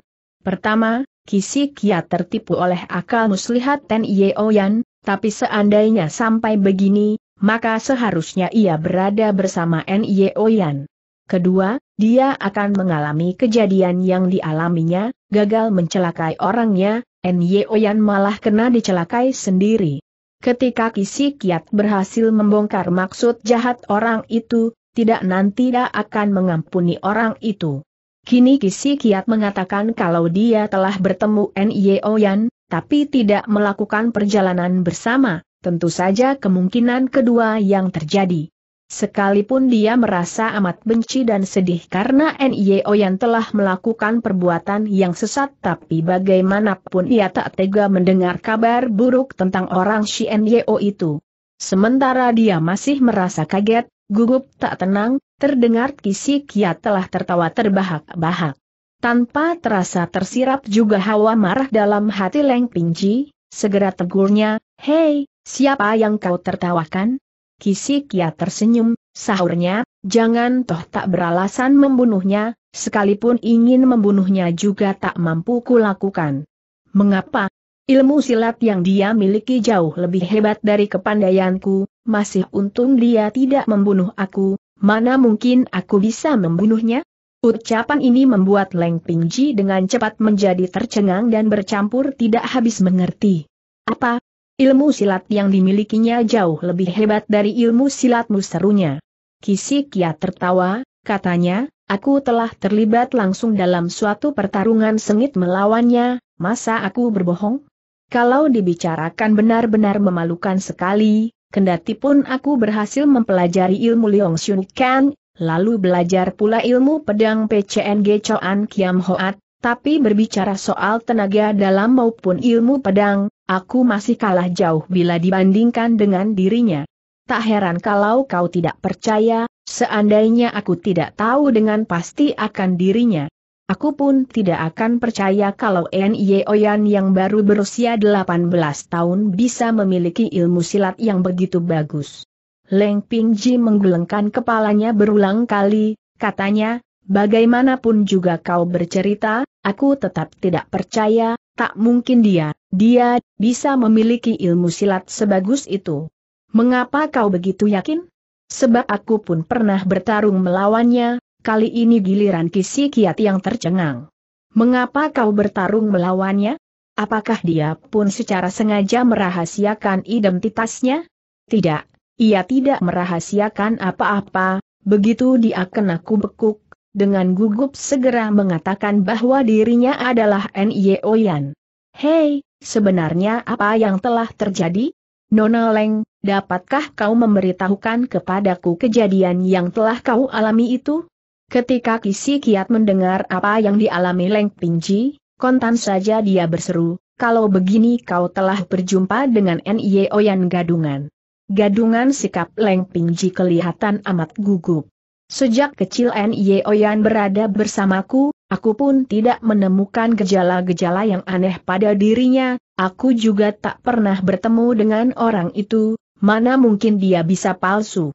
Sederhana sekali, jawab Kisi Kiat sambil tertawa. Aku telah bertemu dengan N.Y. Oyan yang asli, maka orang yang kau jumpai tentu saja yang gadungan. Dari mana kau bisa tahu kalau N.Y. Oyan yang kau jumpai itu adalah N.Y. Oyan asli bukan gadungan? Atas dasar apakah kau berani memastikan kalau dia adalah N.Y. Oyan asli? Aku sama sekali tidak bertanya apakah dia mempunyai bukti yang menunjukkan bahwa dia itu asli. Kalau begitu, kau hanya berdasarkan pengakuannya saja? Karena dia mengatakan dirinya adalah N.Y. Oyan asli maka kau lantas mempercayainya 100%? Dia pun tak pernah mengatakan kalau dirinya adalah N.Y. Oyan. Lantas dari mana kau bisa tahu dia adalah N.Y. Oyan? Tai Kiat Hoatsu yang barusan kau hajar kabur itulah yang memberitahukan kepadaku. Sekarang dia baru berkesempatan untuk menceritakan kepada Leng Pingji bagaimana dia bertemu dengan N.Y. Oyan serta bagaimana ia mendapat tahu keadaan yang sebenarnya dari Tai Kiat Hoatsu. Leng Pingji masih tetap setengah percaya setengah tidak, katanya, N.Y. Oyan yang kujumpai itu mempunyai ciri khas yang bisa dijadikan sebagai bukti. Di atas lengan kirinya terhadap tahi lalat merah, lagi pula dia pun bisa menceritakan semua kejadian sewaktu masih kecil dulu dengan jelas dan benar. Kembali Kisi Kiat tertawa, ia berkata, sebagai komplotan Toan Kiam Cheng, sudah bar banyak mengetahui segala sesuatu tentang N.Y. Oyan, apakah Toai Kiam Cheng tak dapat memberitahukan hal ini kepadanya? Lagi pula membuat sebuah tahi lalat di atas lengan manusia juga bukan suatu pekerjaan yang terlampau sukar. Leng Pingji bungkam dalam seribu bahasa, rupanya dia sedang memikirkan persoalan ini dengan seksama. Kembali Kisi Kiat berkata lebih jauh, kau bilang kau tidak berhasil menemukan titik kelemahan apa-apa, aku rasa hal ini belum tentu benar. Coba pikirkan lagi dengan seksama, misalnya saja meski raut wajah mereka berdua mirip, tentunya berbeda dalam watak bukan? Leng Pingji segera manggut-manggut. Benar, Watak N.Y. Oyan yang kujumpai itu sama sekali tidak mirip dengan watak N.Y. Oyan semasa masih kecil dulu, bahkan pada hakikatnya bagaikan dua orang yang berbeda saja. Nah itulah dia, seru Kisi Kiat sambil tertawa. Masa bukti ini kurang jelas? Orang bilang, alam semesta bisa diubah, watak manusia sukar diubah. Walaupun ucapan ini belum tentu benar 100%, toh tiada salahnya juga? Sekalipun dia sampai tersesat dan menjadi merah karena dekat gincu, menjadi hitam karena dekat tunta, namun watak aslinya yang halus dan berbudi tak nanti bisa berubah menjadi begitu jahat, buas dan licik. Seandainya dia adalah N.Y. Oyan yang sebenarnya, mana mungkin dia akan mempergunakan pelbagai akal muslihat untuk mencelakai dirimu. Teori tersebut pernah diterangkan Lomana kepada Leng Pingji, cuma saja tidak sejelas penjelasan Kisi Kiat sekarang ini.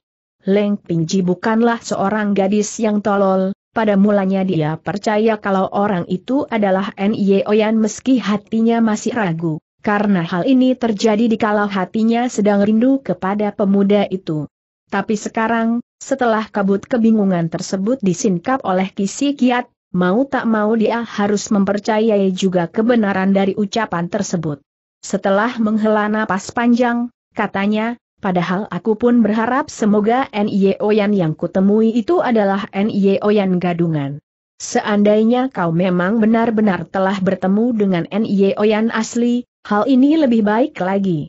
Tapi, masih ada satu hal yang mencurigakan hatiku. Kecurigaan apa maksudmu? Menurut pendapatmu, dia sudah tahu kalau kau adalah kakak misalnya. Benar. Dia juga tahu kalau kau sedang berusaha keras untuk menemukan dirinya? Ya, kalau dibicarakan kembali sungguh menggelikan, aku malah mencari kabar tentang N.Y. Oyan dari mulutnya. Lantas mengapa dia tak mau memperkenalkan diri kepadamu? Aku sendiri pun kurang mengerti. Sebenarnya aku ingin mengajaknya untuk melakukan perjalanan bersama, siapa tahu dia meninggalkan aku secara tiba-tiba. Apakah dia tahu kalau aku pun sedang mencarinya aku telah memberitahukan hal ini kepadanya. Leng Pingji segera menundukkan kepalanya seperti sedang memikirkan sesuatu, sampai lama sekali belum juga berbicara. Kisi Kiat segera berkata lagi, apakah lantaran alasan ini, maka kau lantas menaruh curiga kalau dia bukan En Yoyan? Ehm, aku teringat akan satu hal. Soal apa? Aku teringat kembali dengan mimik wajahnya ketika itu, Sewaktu dia tahu kalau kau telah mencarinya selama tujuh tahun, paras mukanya agak berubah, seolah-olah merasa terharu sekali. Menurut pendapatmu, mengapa dia bisa begitu emosi tentu saja dia terharu karena persaudaraanmu yang begitu tebal dan mendalam. Ehm, aku berani memastikan kalau dia adalah N.Y. Oyan asli tak lain karena alasan ini pula. Tidak seperti N.Y. Oyan gadungan yang kau jumpai itu, bukan berterima kasih malah hendak mencelakai dirimu. Apakah masih ada sesuatu yang kau curigai? Tiba-tiba Leng Pingji menghela napas panjang, katanya, aku sudah tidak menaruh curiga lagi kalau kau memang telah berjumpa dengan N.Y. Oyan asli. Cuma ada satu hal yang mungkin salah kau tebak. Salah tebak dalam soal apa? Dia bukan sedang berterima kasih kepadaku, melainkan sedang membenci diriku. Kisi Kiat sangat terkejut setelah mendengar perkataan itu, serunya dengan cepat, ah ah ah, hal ini mana mungkin bisa terjadi. Bukankah engkau telah menceritakan rahasia asal-usulnya bukan? Pada waktu itu aku sama sekali tidak tahu kalau dia adalah N.Y. Oyan, maka aku pun berkata segala sesuatunya tanpa bermaksud untuk mengelabuinya. Apakah kau menganggap perbuatanku ini salah? Aku rasa, kita toh tak dapat mengelabuinya sepanjang masa, cepat atau lambat rahasia ini toh akhirnya akan diungkap juga. Leng Pingji menghela napas panjang. Aaai, kau tak mengerti tentang N.Y. Oyan, sejak kecil dia sudah merupakan seorang bocah yang mudah emosi, Kadang kala pikirannya sempit setelah dia mengetahui asal-usulnya, sudah pasti akan marah padaku karena aku telah merahasiakan asal-usulnya itu. Padahal bukannya aku tak ingin memberitahukan hal ini kepadanya, aku bermaksud untuk menanti tibanya saat yang tepat dan baik baru menyampaikan hal ini kepadanya. Dulu, kami pun pernah berpikir, ada baiknya bila ayah angkatnya yang memberitahukan soal itu kepadanya, Kini secara tiba-tiba ia mengetahui asal-usul dirinya dari mulutmu, bisa dibayangkan sampai di manakah hebatnya pukulan batin itu. Dan apa yang kau katakan padanya mungkin sekali.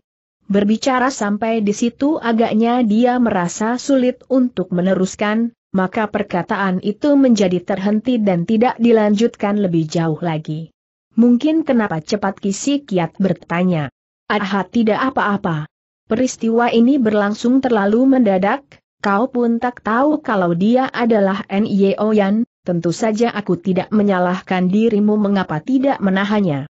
Aku rasa, persoalan yang harus kita rundingkan sekarang adalah bagaimana caranya untuk menemukan dirinya. Sedang tentang perkataan yang telah kau bicarakan dengannya, aku sama sekali tak ingin tahu. Agaknya dia sedang memikirkan bagaimana caranya untuk menemukan jejak N.Y. Oyan, maka berbicara sampai di situ dia tidak berkata apa-apa lagi. Kisi Kiat sendiri pun tidak berkata apa-apa. Untuk sesaat lamanya mereka berdoa seperti kurang leluasa. Setelah suasana menjadi hening untuk beberapa saat lamanya, tiba-tiba Kisi Kiat berkata lagi, Nona Leng, sikapmu dengan dua tahun berselang berbeda sekali. Bagaimana bedanya? Dua tahun berselang, aku rasa kau tak akan berbicara ragu-ragu denganku seperti apa yang kau lakukan sekarang. Mendengar perkataan itu, Leng Pingji segera tertawa cekikikan. Kalau ingin berbicara, tak usah berputar-putar lagi, serunya. Bukankah kau hendak mengatakan bahwa sikapku kepadamu pada dua tahun berselang sama sekali tak sungkan-sungkan? Dua tahun berselang, mungkin kau masih menaruh beberapa bagian rasa permusuhan kepadaku, tapi sekarang kau bersedia menganggapku sebagai sahabat, tentu saja aku merasa gembira sekali akan perubahan ini. Cuma, dalam persoalan ini aku lebih suka kalau kau bersikap seperti dua tahun berselang, tanpa sungkan-sungkan untuk menuding di mana letak kesalahanku itu. Nona Leng, lebih baik kita lanjutkan pembicaraan tentang pokok persoalan semula saja, apakah kau takut aku telah salah mengucapkan sesuatu kepada N.Y. Oyan sehingga menyedihkan hatinya? Juga tidak seluruhnya karena masalah ini. Walaupun tidak diungkap secara terus terang, namun maksud dari perkataan itu sudah amat jelas, yakni dia mengakui akan kebenaran dari perkataan tersebut. Ki Sucekia tak dapat menahan diri lagi, dia segera menyahut, aku tak lebih hanya memberitahukan sedikit tentang kenyataan. Terhadap suatu kenyataan yang sama, belum tentu mempunyai pandangan yang sama pula. Lagi pula kenyataan yang kau ketahui belum tentu sama dengan kenyataan yang ku ketahui, semisalnya saja. Misalnya apa? Misalnya kasus tentang ibunya dengan Beng Tai Hiap, kau anggap Beng Tai Hiap. Bisa jadi Beng Ko Ancau adalah seorang Eng seorang ksatria yang sejati, tapi bagaimanapun juga, dalam peristiwa itu toh tak bisa kita katakan kalau dia yang benar. Mengapa? Bagaimanapun juga, tidak seharusnya dia melakukan hubungan gelap dengan seorang perempuan yang telah bersuami. Apakah ibumu yang memberitahukan segala sesuatu tentang masalah mereka kepadamu? Aku percaya ibuku tak akan membohongiku. Tapi apa yang ku ketahui justru sama sekali berbeda dengan apa yang kau ketahui. Bagaimana bedanya? Menurut apa yang ku ketahui, Hun Chilo, ibu Nye Oyan, sama sekali tidak berbuat serong dengan lelaki lain, sebab jauh sebelum dia kenal dengan engkumu, Nye Obok, Sebetulnya dia dengan Benggo Ancau sudah merupakan sepasang kekasih yang saling mencintai. Lantas, apa sebabnya dia bisa kawin dengan Engkuku beberapa hari sebelum Benggo Ancau kawin dengannya? Tiba-tiba ia mendapat perintah dari gurunya untuk berangkat ke Xiao Kim Juan. Kemudian kabar tentang musibah yang menimpanya di Xiao Kim Juan tersiar keluar, padahal waktu itu Hun Chila sudah hamil, pada saat itulah Hengkumu muncul dengan kedok sebagai seorang pendekar sejati, dengan tujuan untuk melindungi nama baiknya, ia meminang dirinya. Jadi kenyataan yang sebetulnya, Hun Chilo bisa kawin dengan Engkumu lantaran tertipu. Kemudian dia baru tahu kalau berita yang mengatakan bahwa Beng Goan tewas dalam pertempuran di Xiao Kim Juan sesungguhnya hanya kabar bohong belaka. Dari mana kau bisa tahu tentang semua kejadian ini ayah angkat Ten Ye Oyan, Miao Tiang Hong, Miao Tai Hiap. Yang memberitahukan kepadaku. Aku percaya Miao Tai Hiap. Tak nanti akan membohongi diriku dengan cerita palsu. Kisi kiat bungkam seribu bahasa, sesaat kemudian ia baru berkata, aku rasa ibuku juga tak akan sengaja mengarang cerita bohong untuk membohongi diriku, mungkin saja dia tidak tahu tentang semua kenyataan tersebut. Cuma, kalau kudengar dari nada pembicaraanmu tadi, tampaknya kau merasa tak puas terhadap engkuku itu. Bukan cuma tidak puas saja, dalam pandanganku, engkumu itu hakikatnya bukan manusia segolongan dengan kita. Atas dasar apakah kau berkata demikian? Apakah kau tidak tahu kalau dia adalah kuku garudanya pemerintah Cheng? Dia lantas membeber beberapa macam perbuatan jahat yang dilakukan N.Y. Obok selama ini kepada Kisi Kiat. Selesai berkisah, dia pun bertanya lagi, apakah ibumu tak memberitahukan tentang beberapa macam peristiwa itu padamu? Belum, sahut Kisi Kiat lirih, mukanya sampai ke telinga telah merah padam karena jengah. Lewat sesaat kemudian, ia baru mendongakkan kepalanya sembari berkata lirih, Aku merasa menyesal sekali, ku merasa tak pintas menjadi sahabatmu. Leng Pengji segera tertawa lebar, katanya, Nye Oyan yang merupakan putra Nye Obok saja kuanggap sebagai adikku sendiri apalagi kau hanya keponakannya? Engkau tahu Sucouku bahkan telah meminta Nye Oyan sebagai muridnya. Perbuatan salah yang dilakukan Seng Ayah masa harus ditanggung oleh putranya? EHM, lebih baik kita bicarakan soal Nye Oyan saja, men kita rundingkan bagaimana caranya menemukan dirinya kembali? Apakah kau tahu, dia telah pergi ke mana? Agaknya lega juga perasaan Kis Cekiat setelah mendengar perkataan itu, sahutnya, ia telah berangkat meninggalkan aku setelah mendengar dan mulutku kalau Toan Kiam Cheng kemungkinan besar berada di Lor Anki. Tiba-tiba Leng Pingji teringat akan suatu peristiwa, dengan girang dia lantas berseru. Ah, ah ah tak salah lagi sudah pasti dialah orangnya. Siapa? Apa yang telah terjadi? Setelah berhasil menangkap putri kesayangan Lohai, Toan Kiam Cheng berangkai ke Lora Aki dengan tujuan untuk mengancam Lohai, tapi dihajar hingga kabur oleh seorang pemuda tak dikenai. Waktu itu kami sudah berpikir ke sana kemari tapi gagal untuk menebak siapa orang yang memiliki kepandaian sakti itu, tetapi setelah dipikirkan kembali sekarang, tidak dapat disangka lagi, sudah pasti orang itu adalah En Yoyan. Kisi Kiat pun turut gembira, katanya pula. Benar, dengan ilmu silat yang dimilikinya, bukan sesuatu yang aneh bila ia berhasil mengalahkan Toan Kiam Cheng, ya sudah pasti dia. Aku telah terkurung selama beberapa hari di dalam selat sempit ini, tak nyana kalau dia telah sampai di Lor Anki. Aku sebetulnya hendak menuju ke rumah Lohai untuk mencarimu, tapi berhubung aku tersesat di dalam selat ini dan tak mampu keluar dari sini.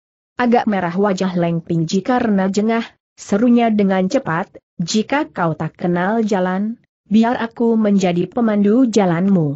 Laki perempuan anggota persilatan memang sudah terbiasa melakukan perjalanan bersama, hal ini wajar, tak usah kau begitu serius. Baik, Sahut Ki Secekiat sambil tertawa bodoh, aku tak pandai berbicara harap kau jangan marah. Leng Pingji segera tertawa cekikikan, kalau begitu mari kita berangkat, apalagi yang masih kau pikirkan?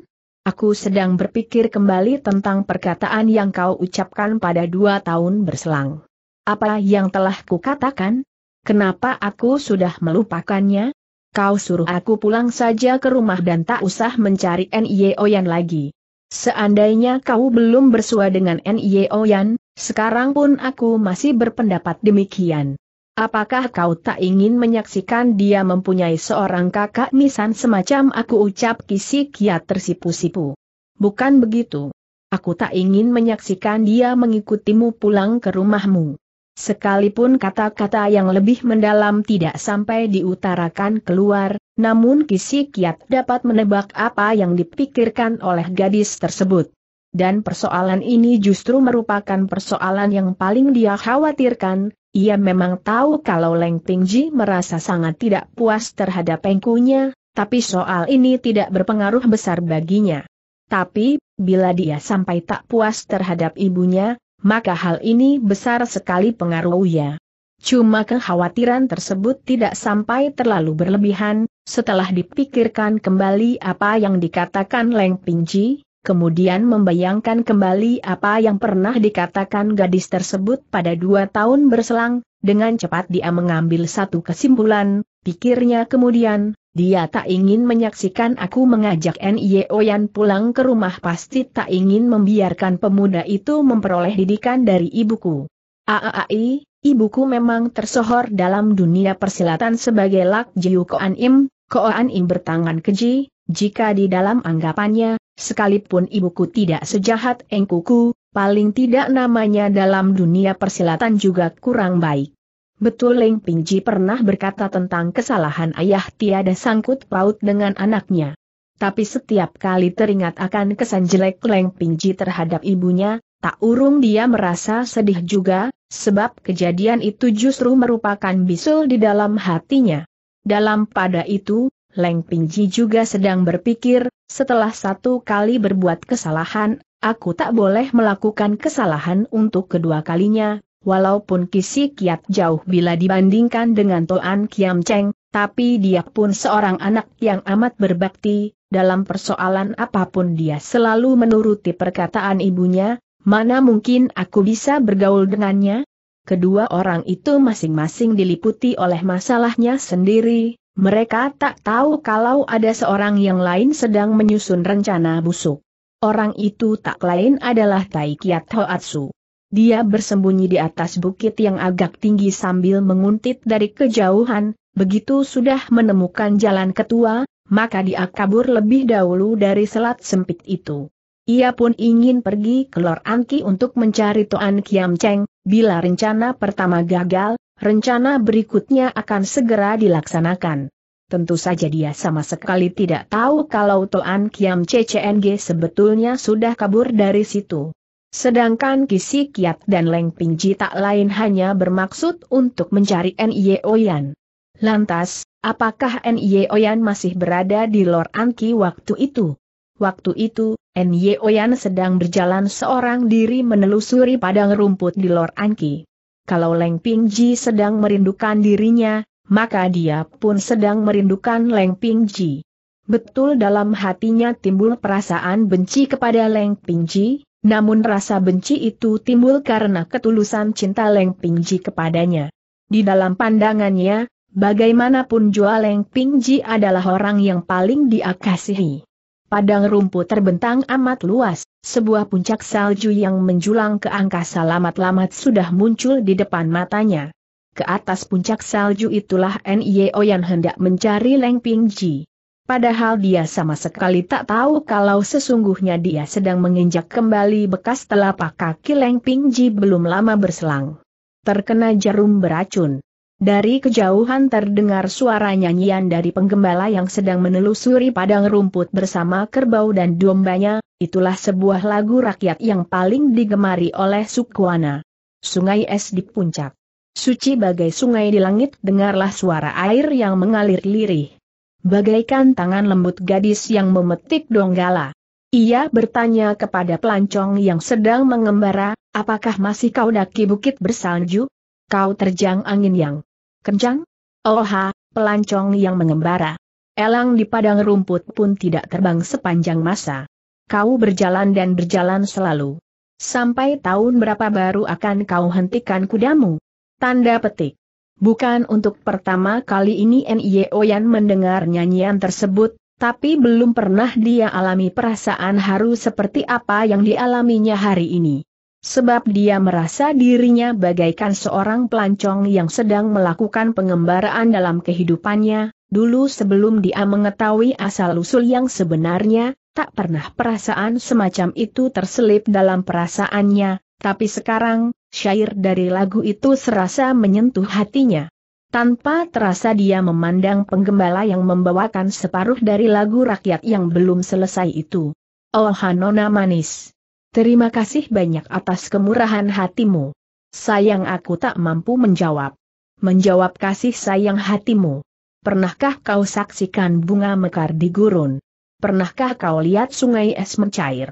Kau tak akan melihatnya, tak akan melihatnya oh, oh. Itulah sebabnya pelancong yang mengembara tak akan pernah menghentikan perjalanannya. Tapi ketika ia selesai membawakan lagu rakyat itu, tanpa terasa langkah kakinya juga turut berhenti. Apakah dia diundang oleh penggembala yang baik hati atau terharu oleh nada lagu itu? Atau karena lelah? Tidak, semuanya tidak. Dia hanya merasa tak sanggup untuk melakukan perjalanan lagi. Tiba-tiba saja dia merasa kepalanya pusing sekali. Ketika Nye Oyan mencoba untuk mengatur napas, terasa dadan falamat-lamat menjadi sakit, beberapa buah jalan darah penting seperti Sian Ki Hiat, Yau Kong Hiat, dan Hang Hu Hiat terasa sakit bagaikan ditusuk-tusuk jarum yang tajam. Dia mencoba untuk melangkah ke depan, namun kakinya bagaikan diberi beban beribu-ribu kati, untuk maju selangkah pun dibutuhkan tenaga yang amat besar sekali, hakikatnya setengah inci pun sudah tak mungkin lagi baginya untuk melangkah. Diam-diam Men Ye Oyan tertawa getir di hati, pikirnya, aku masih mengira dapat bertahan sampai di puncak Soat Hong, kini, jangankan pergi ke puncak salju untuk mencari encileng, sekalipun hendak menemukan gembala yang membawakan lagu tadi pun mungkin sudah tak mungkin lagi. Aaai, sama sekali tak kusangka kalau senjata rahasia beracun milik Toan Kiam Cheng ternyata hebat dan menakutkan, ternyata di dalam pertarungan yang berlangsung pada malam itu, kendati pun ia berhasil mengalahkan Toan Kiam Cheng, namun, dia sendiri pun terkena tiga batang jeram beracun milik Toan Kiam Cheng. Ia memang sedang mencari jejak Toan Kiam Cheng ketika secara kebetulan berhasil memergokinya di atas atap rumah Lohai.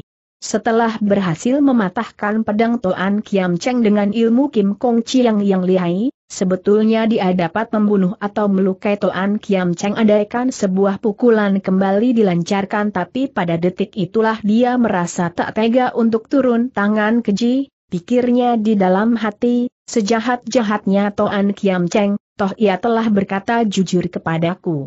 Dan lagi, dia pula yang mengajar aku membaca dan menulis, aku harus mengampuni selembar jiwanya. Oleh karena ingatan tersebut, maka serangan kedua tidak jadi dilancarkan, dari suatu bacokan maka tangannya berganti menggunakan ilmu cengkeraman Kina Jihoat. Maksudnya hanya ilmu silatnya saja yang akan dipunahkan sementara jiwanya biar tetap selamat. Justru karena ingatan baiknya itulah membuat gerak perubahan dari ilmu Kim Kiong Chiang menjadi Kina Hoat maka gerakannya menjadi agak kendor sedikit. Hal mana segera dimanfaatkan sebaik-baiknya oleh Toan Kiam Cheng untuk melancarkan serangan balasan. Senjata rahasia yang dipergunakan Toan Kiam Cheng tak lain adalah senjata rahasia ampuh milik Honjian tempo hari yang dipakai untuk mencelakai Gasam Hoatsu, yakni Toko Kim Kiam Liat Yantan, jarum emas, kabut beracun, peluru peledak. Dengan kesempurnaan tenaga dalam yang dimiliki Gasam Hoatsu pada waktu itu pun tak sanggup untuk menahannya, bisa dibayangkan betapa lihainya senjata rahasia tersebut. Seandainya N.Y. Oyan segera mencari tempat yang sepi untuk mengobati lukanya begitu terhajar senjata rahasia tersebut, mungkin keadaannya masih tidak mengapa, sayang dia tidak mengetahui kelihayan senjata rahasia tersebut, sewaktu terhajar tiga batang jarum beracun itu, hanya terasa gatal belaka, malahan dia melanjutkan pengejarannya terhadap Toan Kiam Cheng. Menanti dia merasa tak mungkin bisa menyusulnya, pemuda itu baru berbalik badan siap-siap menuju ke Bukit Soat Hang untuk menolong Leng Pingji seperti apa yang dikatakan Nao Yang Seng. Ketika dulu Gasam Hoatsu terkena jarum beracun itu, kemudian kena ditipu oleh Toan Kiam Cheng yang mencekokinya dengan racun yang diakuinya sebagai obat pemunah, dengan susah payah pendeta itu berusaha pulang ke Tibet lewat kota iblis, sayang setengah bulan kemudian ia tak mampu melakukan perjalanan lagi, separuh badannya menjadi lumpuh. Sekarang, Bukit Soat Hang yang dituju N.Y. Oyan berjarak 500 li.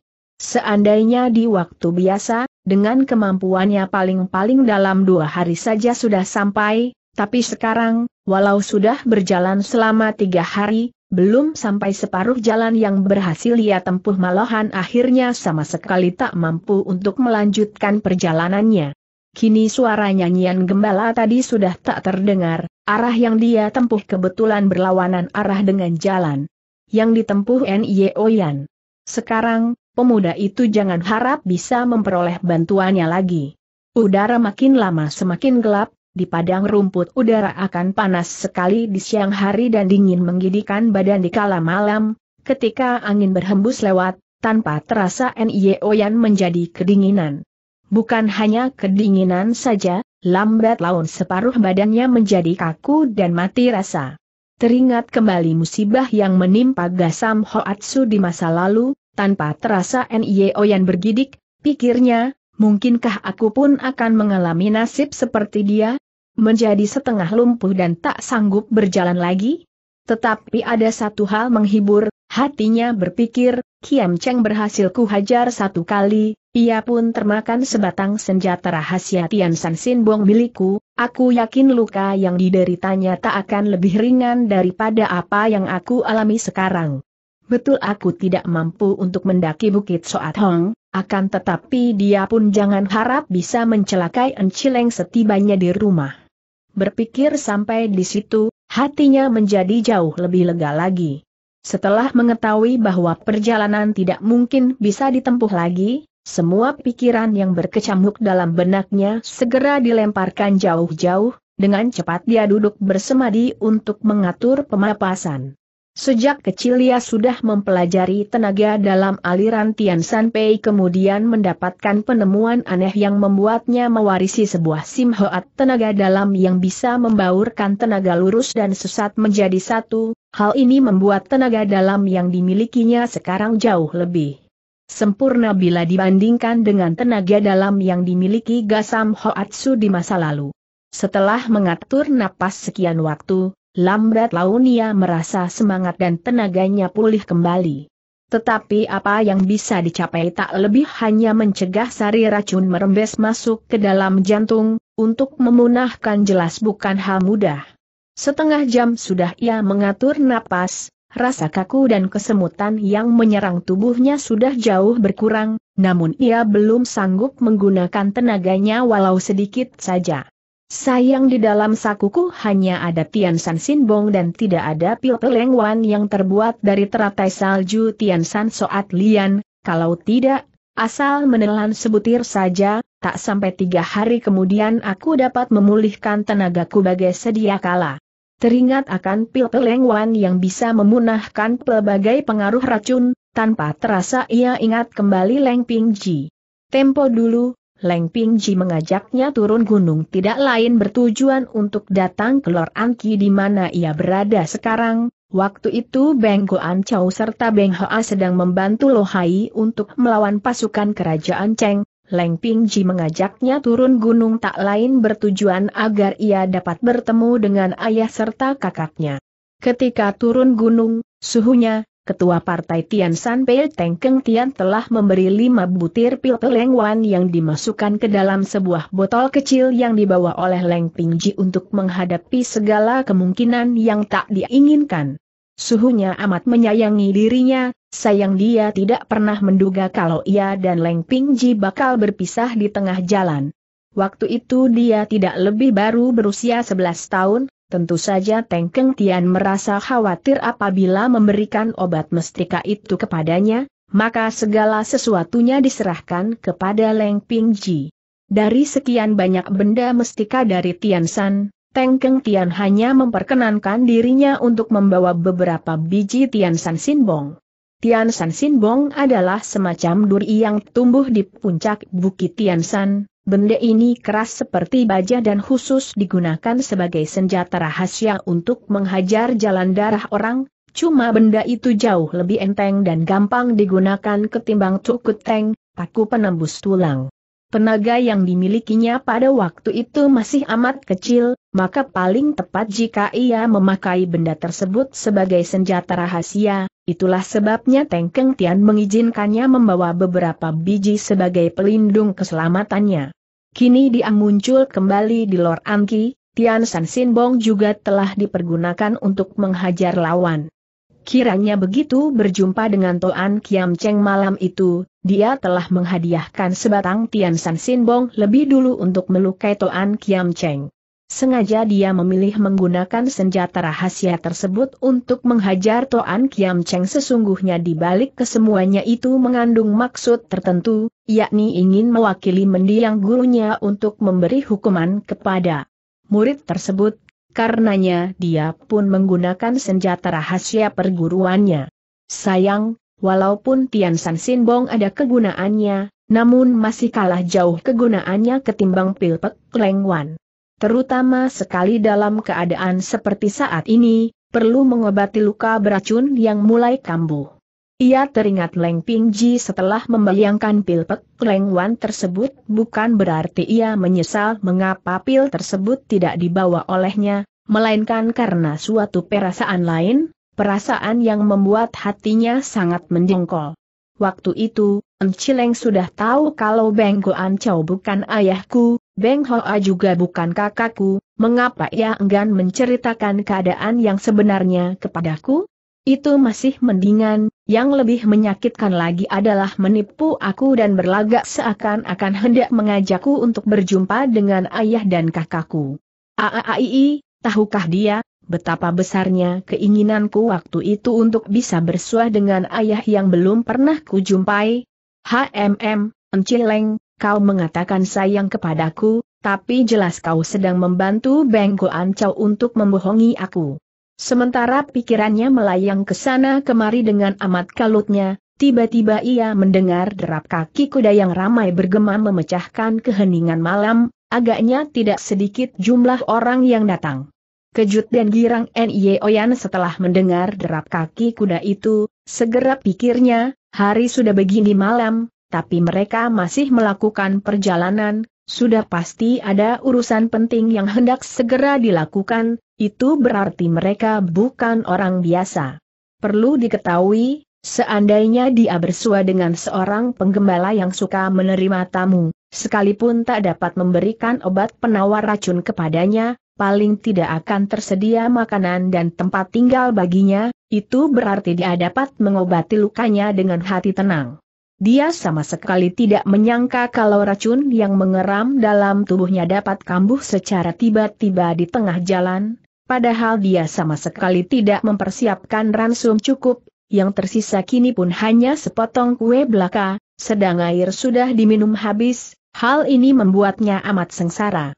Kalau tiada bahan makanan mungkin dia masih bisa menahan rasa lapar yang melilit perut, tapi bagaimana kalau sudah haus? Siapakah yang sanggup menahan rasa dahaga?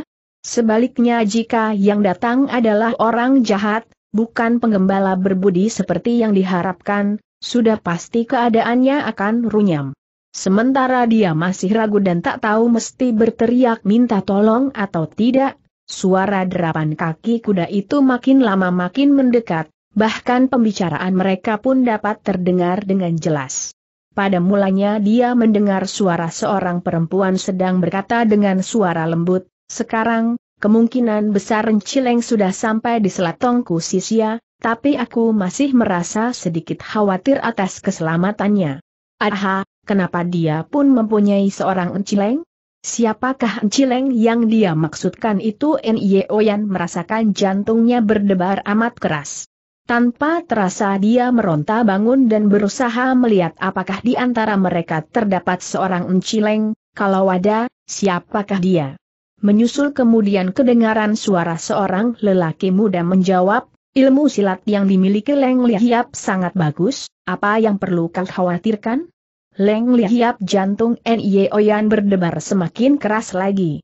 Kalau bukan Encileng seorang yang pantas dipanggil sebagai Leng Lihiap, masih ada siapa lagi? Haah, rupanya dia telah berhasil meloloskan diri dari mara bahaya, bahkan telah berangkat ke Selatong Kusisya untuk mencari aku.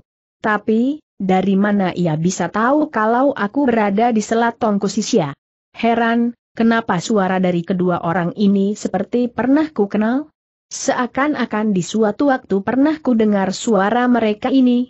Tapi kapan? Dan di mana? Sementara dia berusaha untuk menggali kembali ingatannya, perempuan itu telah berkata, aku sih tidak khawatir kalau dia sampai berjumpa dengan Toan Kiam Cheng, yang ku khawatirkan adalah jika ia tak sampai bertemu dengan Kisi Kiat, kau toh tahu Selatong Kusisya mempunyai sembilan bukit dengan delapan kelas tikungan, orang mudah tersesat di sana. Lelaki itu tertawa sambil menjawab, untuk mencari N.Y. Oyan saja, entah sudah berapa puluh kali Leng Lihiap melewati Selatong Kusisya, masa kau takut kalau dia sampai tersesat? Setelah mendengar nama sendiri disebut orang itu, N.Y. Oyan baru sadar kembali, dengan cepat pikirnya, ternyata mereka adalah Santala dan Lomana. Menurut pengakuan Yang Seng, Lomana telah ditangkap oleh Toan Kiam Cheng dan disekap di atas puncak Bukit Soat San, tapi ternyata sekarang Lomana sudah lolos dari mara bahaya, itu berarti Enci Peng tak akan apa-apa pula. Tak bisa disangka lagi Leng Lihiap yang mereka maksudkan sudah berangkat ke Selatong Kusisya itu sudah pasti dirinya. Tapi, ada urusan apa dia pergi mencari Kisi Kiat. Benar juga, ternyata yang datang adalah Lomana dan Santala suami istri, sedangkan orang yang melakukan perjalanan bersama mereka adalah ayah Lomana yakni Lohai beserta pengawalnya Salam. Belum habis ingatan tersebut melintas di dalam benaknya, terdengar Lomana telah berkata lagi, Ny Oyan betul-betul seorang bocah keparat yang berhati buruk dan kejam, soal Encileng bisa bertemu dengannya atau tidak, tidak penting lagi tapi Kisi Kiat adalah kekasihnya, keberangkatannya ke Selat Tongku Sisia kali ini boleh dibilang karena soal itu, kalau tak berhasil ditemukan, Encileng pasti akan kecewa sekali. Aku khawatir sebelum dia berhasil menemukan Kisi Kiat, Kisi Kiat sudah keburu kena dicelakai Nye si bocah. Heran, Kenapa aku bisa berubah menjadi bocah keparat yang berhati busuk dan kejam pada mulanya Yan Ye Oyan agak tertegun dan keheranan setelah mendengar perkataan itu. Tapi dia pun berpikir lebih jauh, aha, betul. Bukankah Lomana dan Encileng pernah berada di Soat Hang bersama-sama? Awo yang Seng telah menyaru sebagai diriku untuk mencelakai Encileng. Tapi, tak pernah ia sangka kalau orang itu hanya gadungan. Sekalipun demikian, ia tetap merasa sedih sekali, pikirnya lebih jauh, ternyata enciling ke sana lantaran kisi kiat, bukan karena mencariku. Sungguh menggelikan sekali, beberapa waktu berselang aku masih menganggapnya sebagai orang yang kukasihi, siapa tahu dalam hatinya sudah tiada aku lagi. Ehm, biarlah, toh aku tak bisa melebihi kisi kiat. Nye Oyan yang mudah terpengaruh oleh emosi, tiba-tiba merasakan rasa cemburu yang aneh sekali terhadap Kisi Kiat. Sebenarnya dia ingin merangkak bangun, namun tak ingin menerima kebaikan dari mereka, maka sambil mengertak gigi dia menahan diri sebisanya. Tapi dalam keadaan kecewa yang muncul secara mendadak, tubuh yang sebenarnya sudah lemah itu makin lemah lagi tak ampun tubuhnya segera roboh terjengkang ke tanah, apalagi ketika menyentuh bagian yang terluka, tak kuasa lagi dia merintih. Waktu itu, Lohai sedang bertanya kepada putrinya, siapa pemuda yang bernama Kisi Kiak itu? Bukankah Nye Oyan adalah adik Bieng Hoa dari lain ayah? Sebenarnya apa yang telah terjadi? Ketika tiba-tiba mendengar suara rintihan, ia menjadi tertegun. Hei, agaknya di sana ada orang, mari kita tengok seru Lomana cepat. Malam itu rembulan bersinar dengan terangnya, Lohai khawatir keadaan kurang jelas, maka dia memerintahkan Salamu untuk memasang api. Akibat dari ledakan peluru api jarum mas kabut beracun yang dilepaskan Toan Kiam Cheng dalam pertarungan malam itu, Pakaian yang dikenakan N.Y. Oyan sudah banyak yang berlubang, noda darah dari Toan Kiam Cheng juga mengotori pakaiannya, apalagi terkapar dalam keadaan badan penuh. Lumpur dan wajah memucat, dalam sekilas pandang saja ia tampak bagai seorang pengemis yang sudah hampir mampus. Aha, tampaknya orang ini sedang terluka parah, hei, siapakah kau tegur Lomana setibanya di samping N.Y. Oyan? Sekuat tenaga Nye Oyan menggigit bibirnya menahan diri, sedang di hati kecilnya dia berpikir, rupanya mereka sudah mengetahui asal-usulku. Kalau begitu aku tak boleh memberitahukan kepada mereka kalau aku adalah Nye Oyan. Ketika tidak memperoleh jawaban, Lohai segera berseru, kalau dilihat dari keadaannya itu, napas pun sukar untuk disambung, mana mungkin bisa menjawab pertanyaanmu. Lebih baik obati dulu lukanya. Betul, aku memang benar-benar sudah pikun. Dia kedinginan mana kelaparan lagi, biar kita beri sedikit makanan dulu agar semangatnya pulih kembali, kemudian baru mengobati lukanya. Sementara ia sedang berbicara, Santala telah memayang bangun tubuh N.Y. Oyan. Di bawah sorot cahaya obor yang menerangi wajah N.Y. Oyan, mendadak Lomana menjerit tertahan. Santala jauh lebih gegabah ketimbang istrinya, ia tidak menemukan sesuatu yang istimewa pada pemuda macam pengemis itu, maka segera tanyanya kepada istrinya, Lo mana, kenapa kau? Apakah merasa orang ini agak mencurigakan? Ucapan tersebut diutarakan dengan bahasa suku Wana, tapi Nyo yang dapat memahami arti kata itu tujuh bagian di antaranya. Lo mana sendiri, sekalipun merasa raut wajah orang ini seperti pernah dikenalnya, tapi dengan cepat dia berpikir, Encileng telah membuktikan kalau bajingan cilik yang berada bersama Tuan Kiam Cheng itu adalah N.Y. Oyan, sudah pasti orang ini bukan N.Y. Oyan. Maka dia menjawab, Oh ha, tidak apa-apa, aku hanya merasa orang ini berwajah tampan, tidak mirip seorang pengemis. N.Y. Oyan tahu kalau perempuan itu tidak berhasil mengenali dirinya, maka harinya pun menjadi lega. Santala segera memberi air minum kepadanya, lalu memberi sekerat daging untuk mengisi perut, setelah itu baru bertanya, apakah kau merasa agak baikan?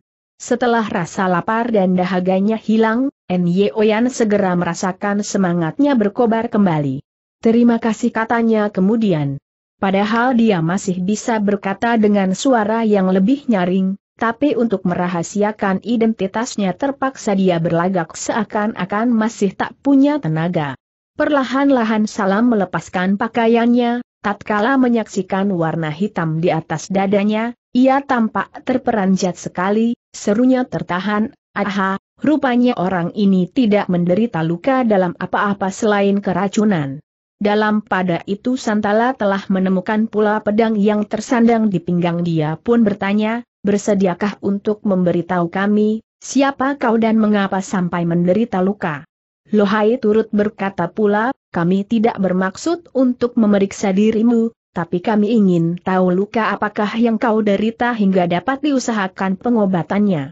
Aku adalah bangsa Han yang datang kemari untuk membeli bahan obat, di tengah jalan telah bertemu dengan pencoleng, entah senjata rahasia apakah yang telah mereka gunakan untuk melukai diriku. Kebanyakan saudagar yang berdagang ke arah Sinki yang pada zaman itu memang sedikit banyak mengerti ilmu silat, tidak heran mereka membawa pedang dan golok, oleh sebab itu jawaban N.Y. Oyan sama sekali tidak menampakkan titik lemah apa pun.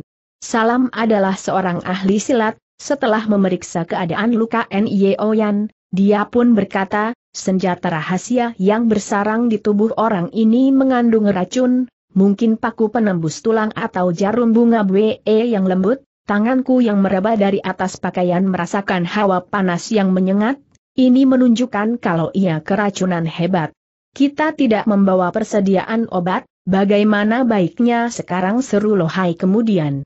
Apakah dia hanya terkena racun, tiada luka dalam lain yang lebih parah tak tahan lo mana bertanya pula.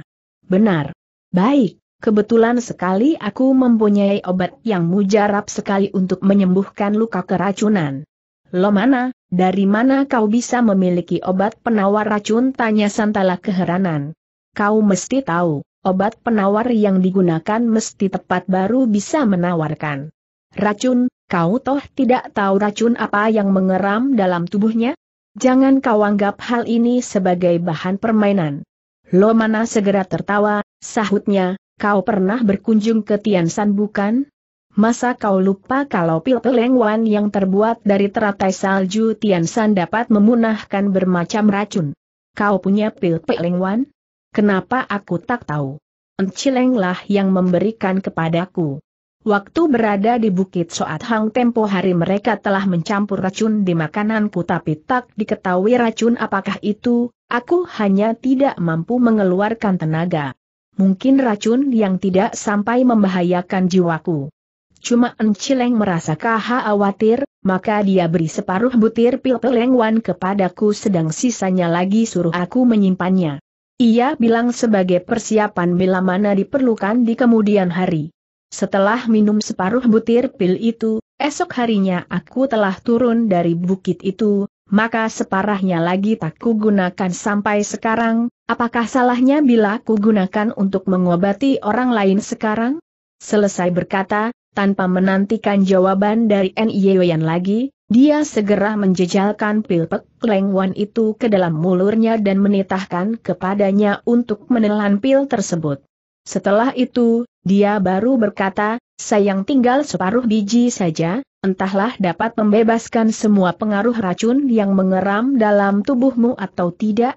Tapi, bagaimanapun juga toh selembar jiwamu bisa tertolong. Tadi, N.Y. Oyan masih membayangkan Pil Pek Leng Wan sewaktu turun gunung dulu, tak disangka yang diinginkan kini. Sudah berada dalam mulutnya, lagi pula merupakan pil pelengwan dari Leng Pingji.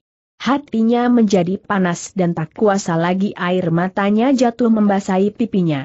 Beberapa titik air matanya bercucuran pertama karena terbayang kembali kejadian masa lalu, kedua karena terharu oleh kebaikan hati Lomana. Melihat pemuda itu menangis, Lomana segera berkata sambil tertawa, sekarang jiwamu sudah tidak terancam oleh mara bahaya lagi, kenapa mesti menangis? Kalau kudengar dari pembicaraan kalian itu, separuh butir pil ini pasti amat berharga sekali, padahal aku dan kalian tak pernah saling kenal, tapi kau bersedia menggunakan pil berharga itu untuk menolong jiwaku, mana mungkin hatiku tak menjadi terharu oleh kebaikan budimu itu.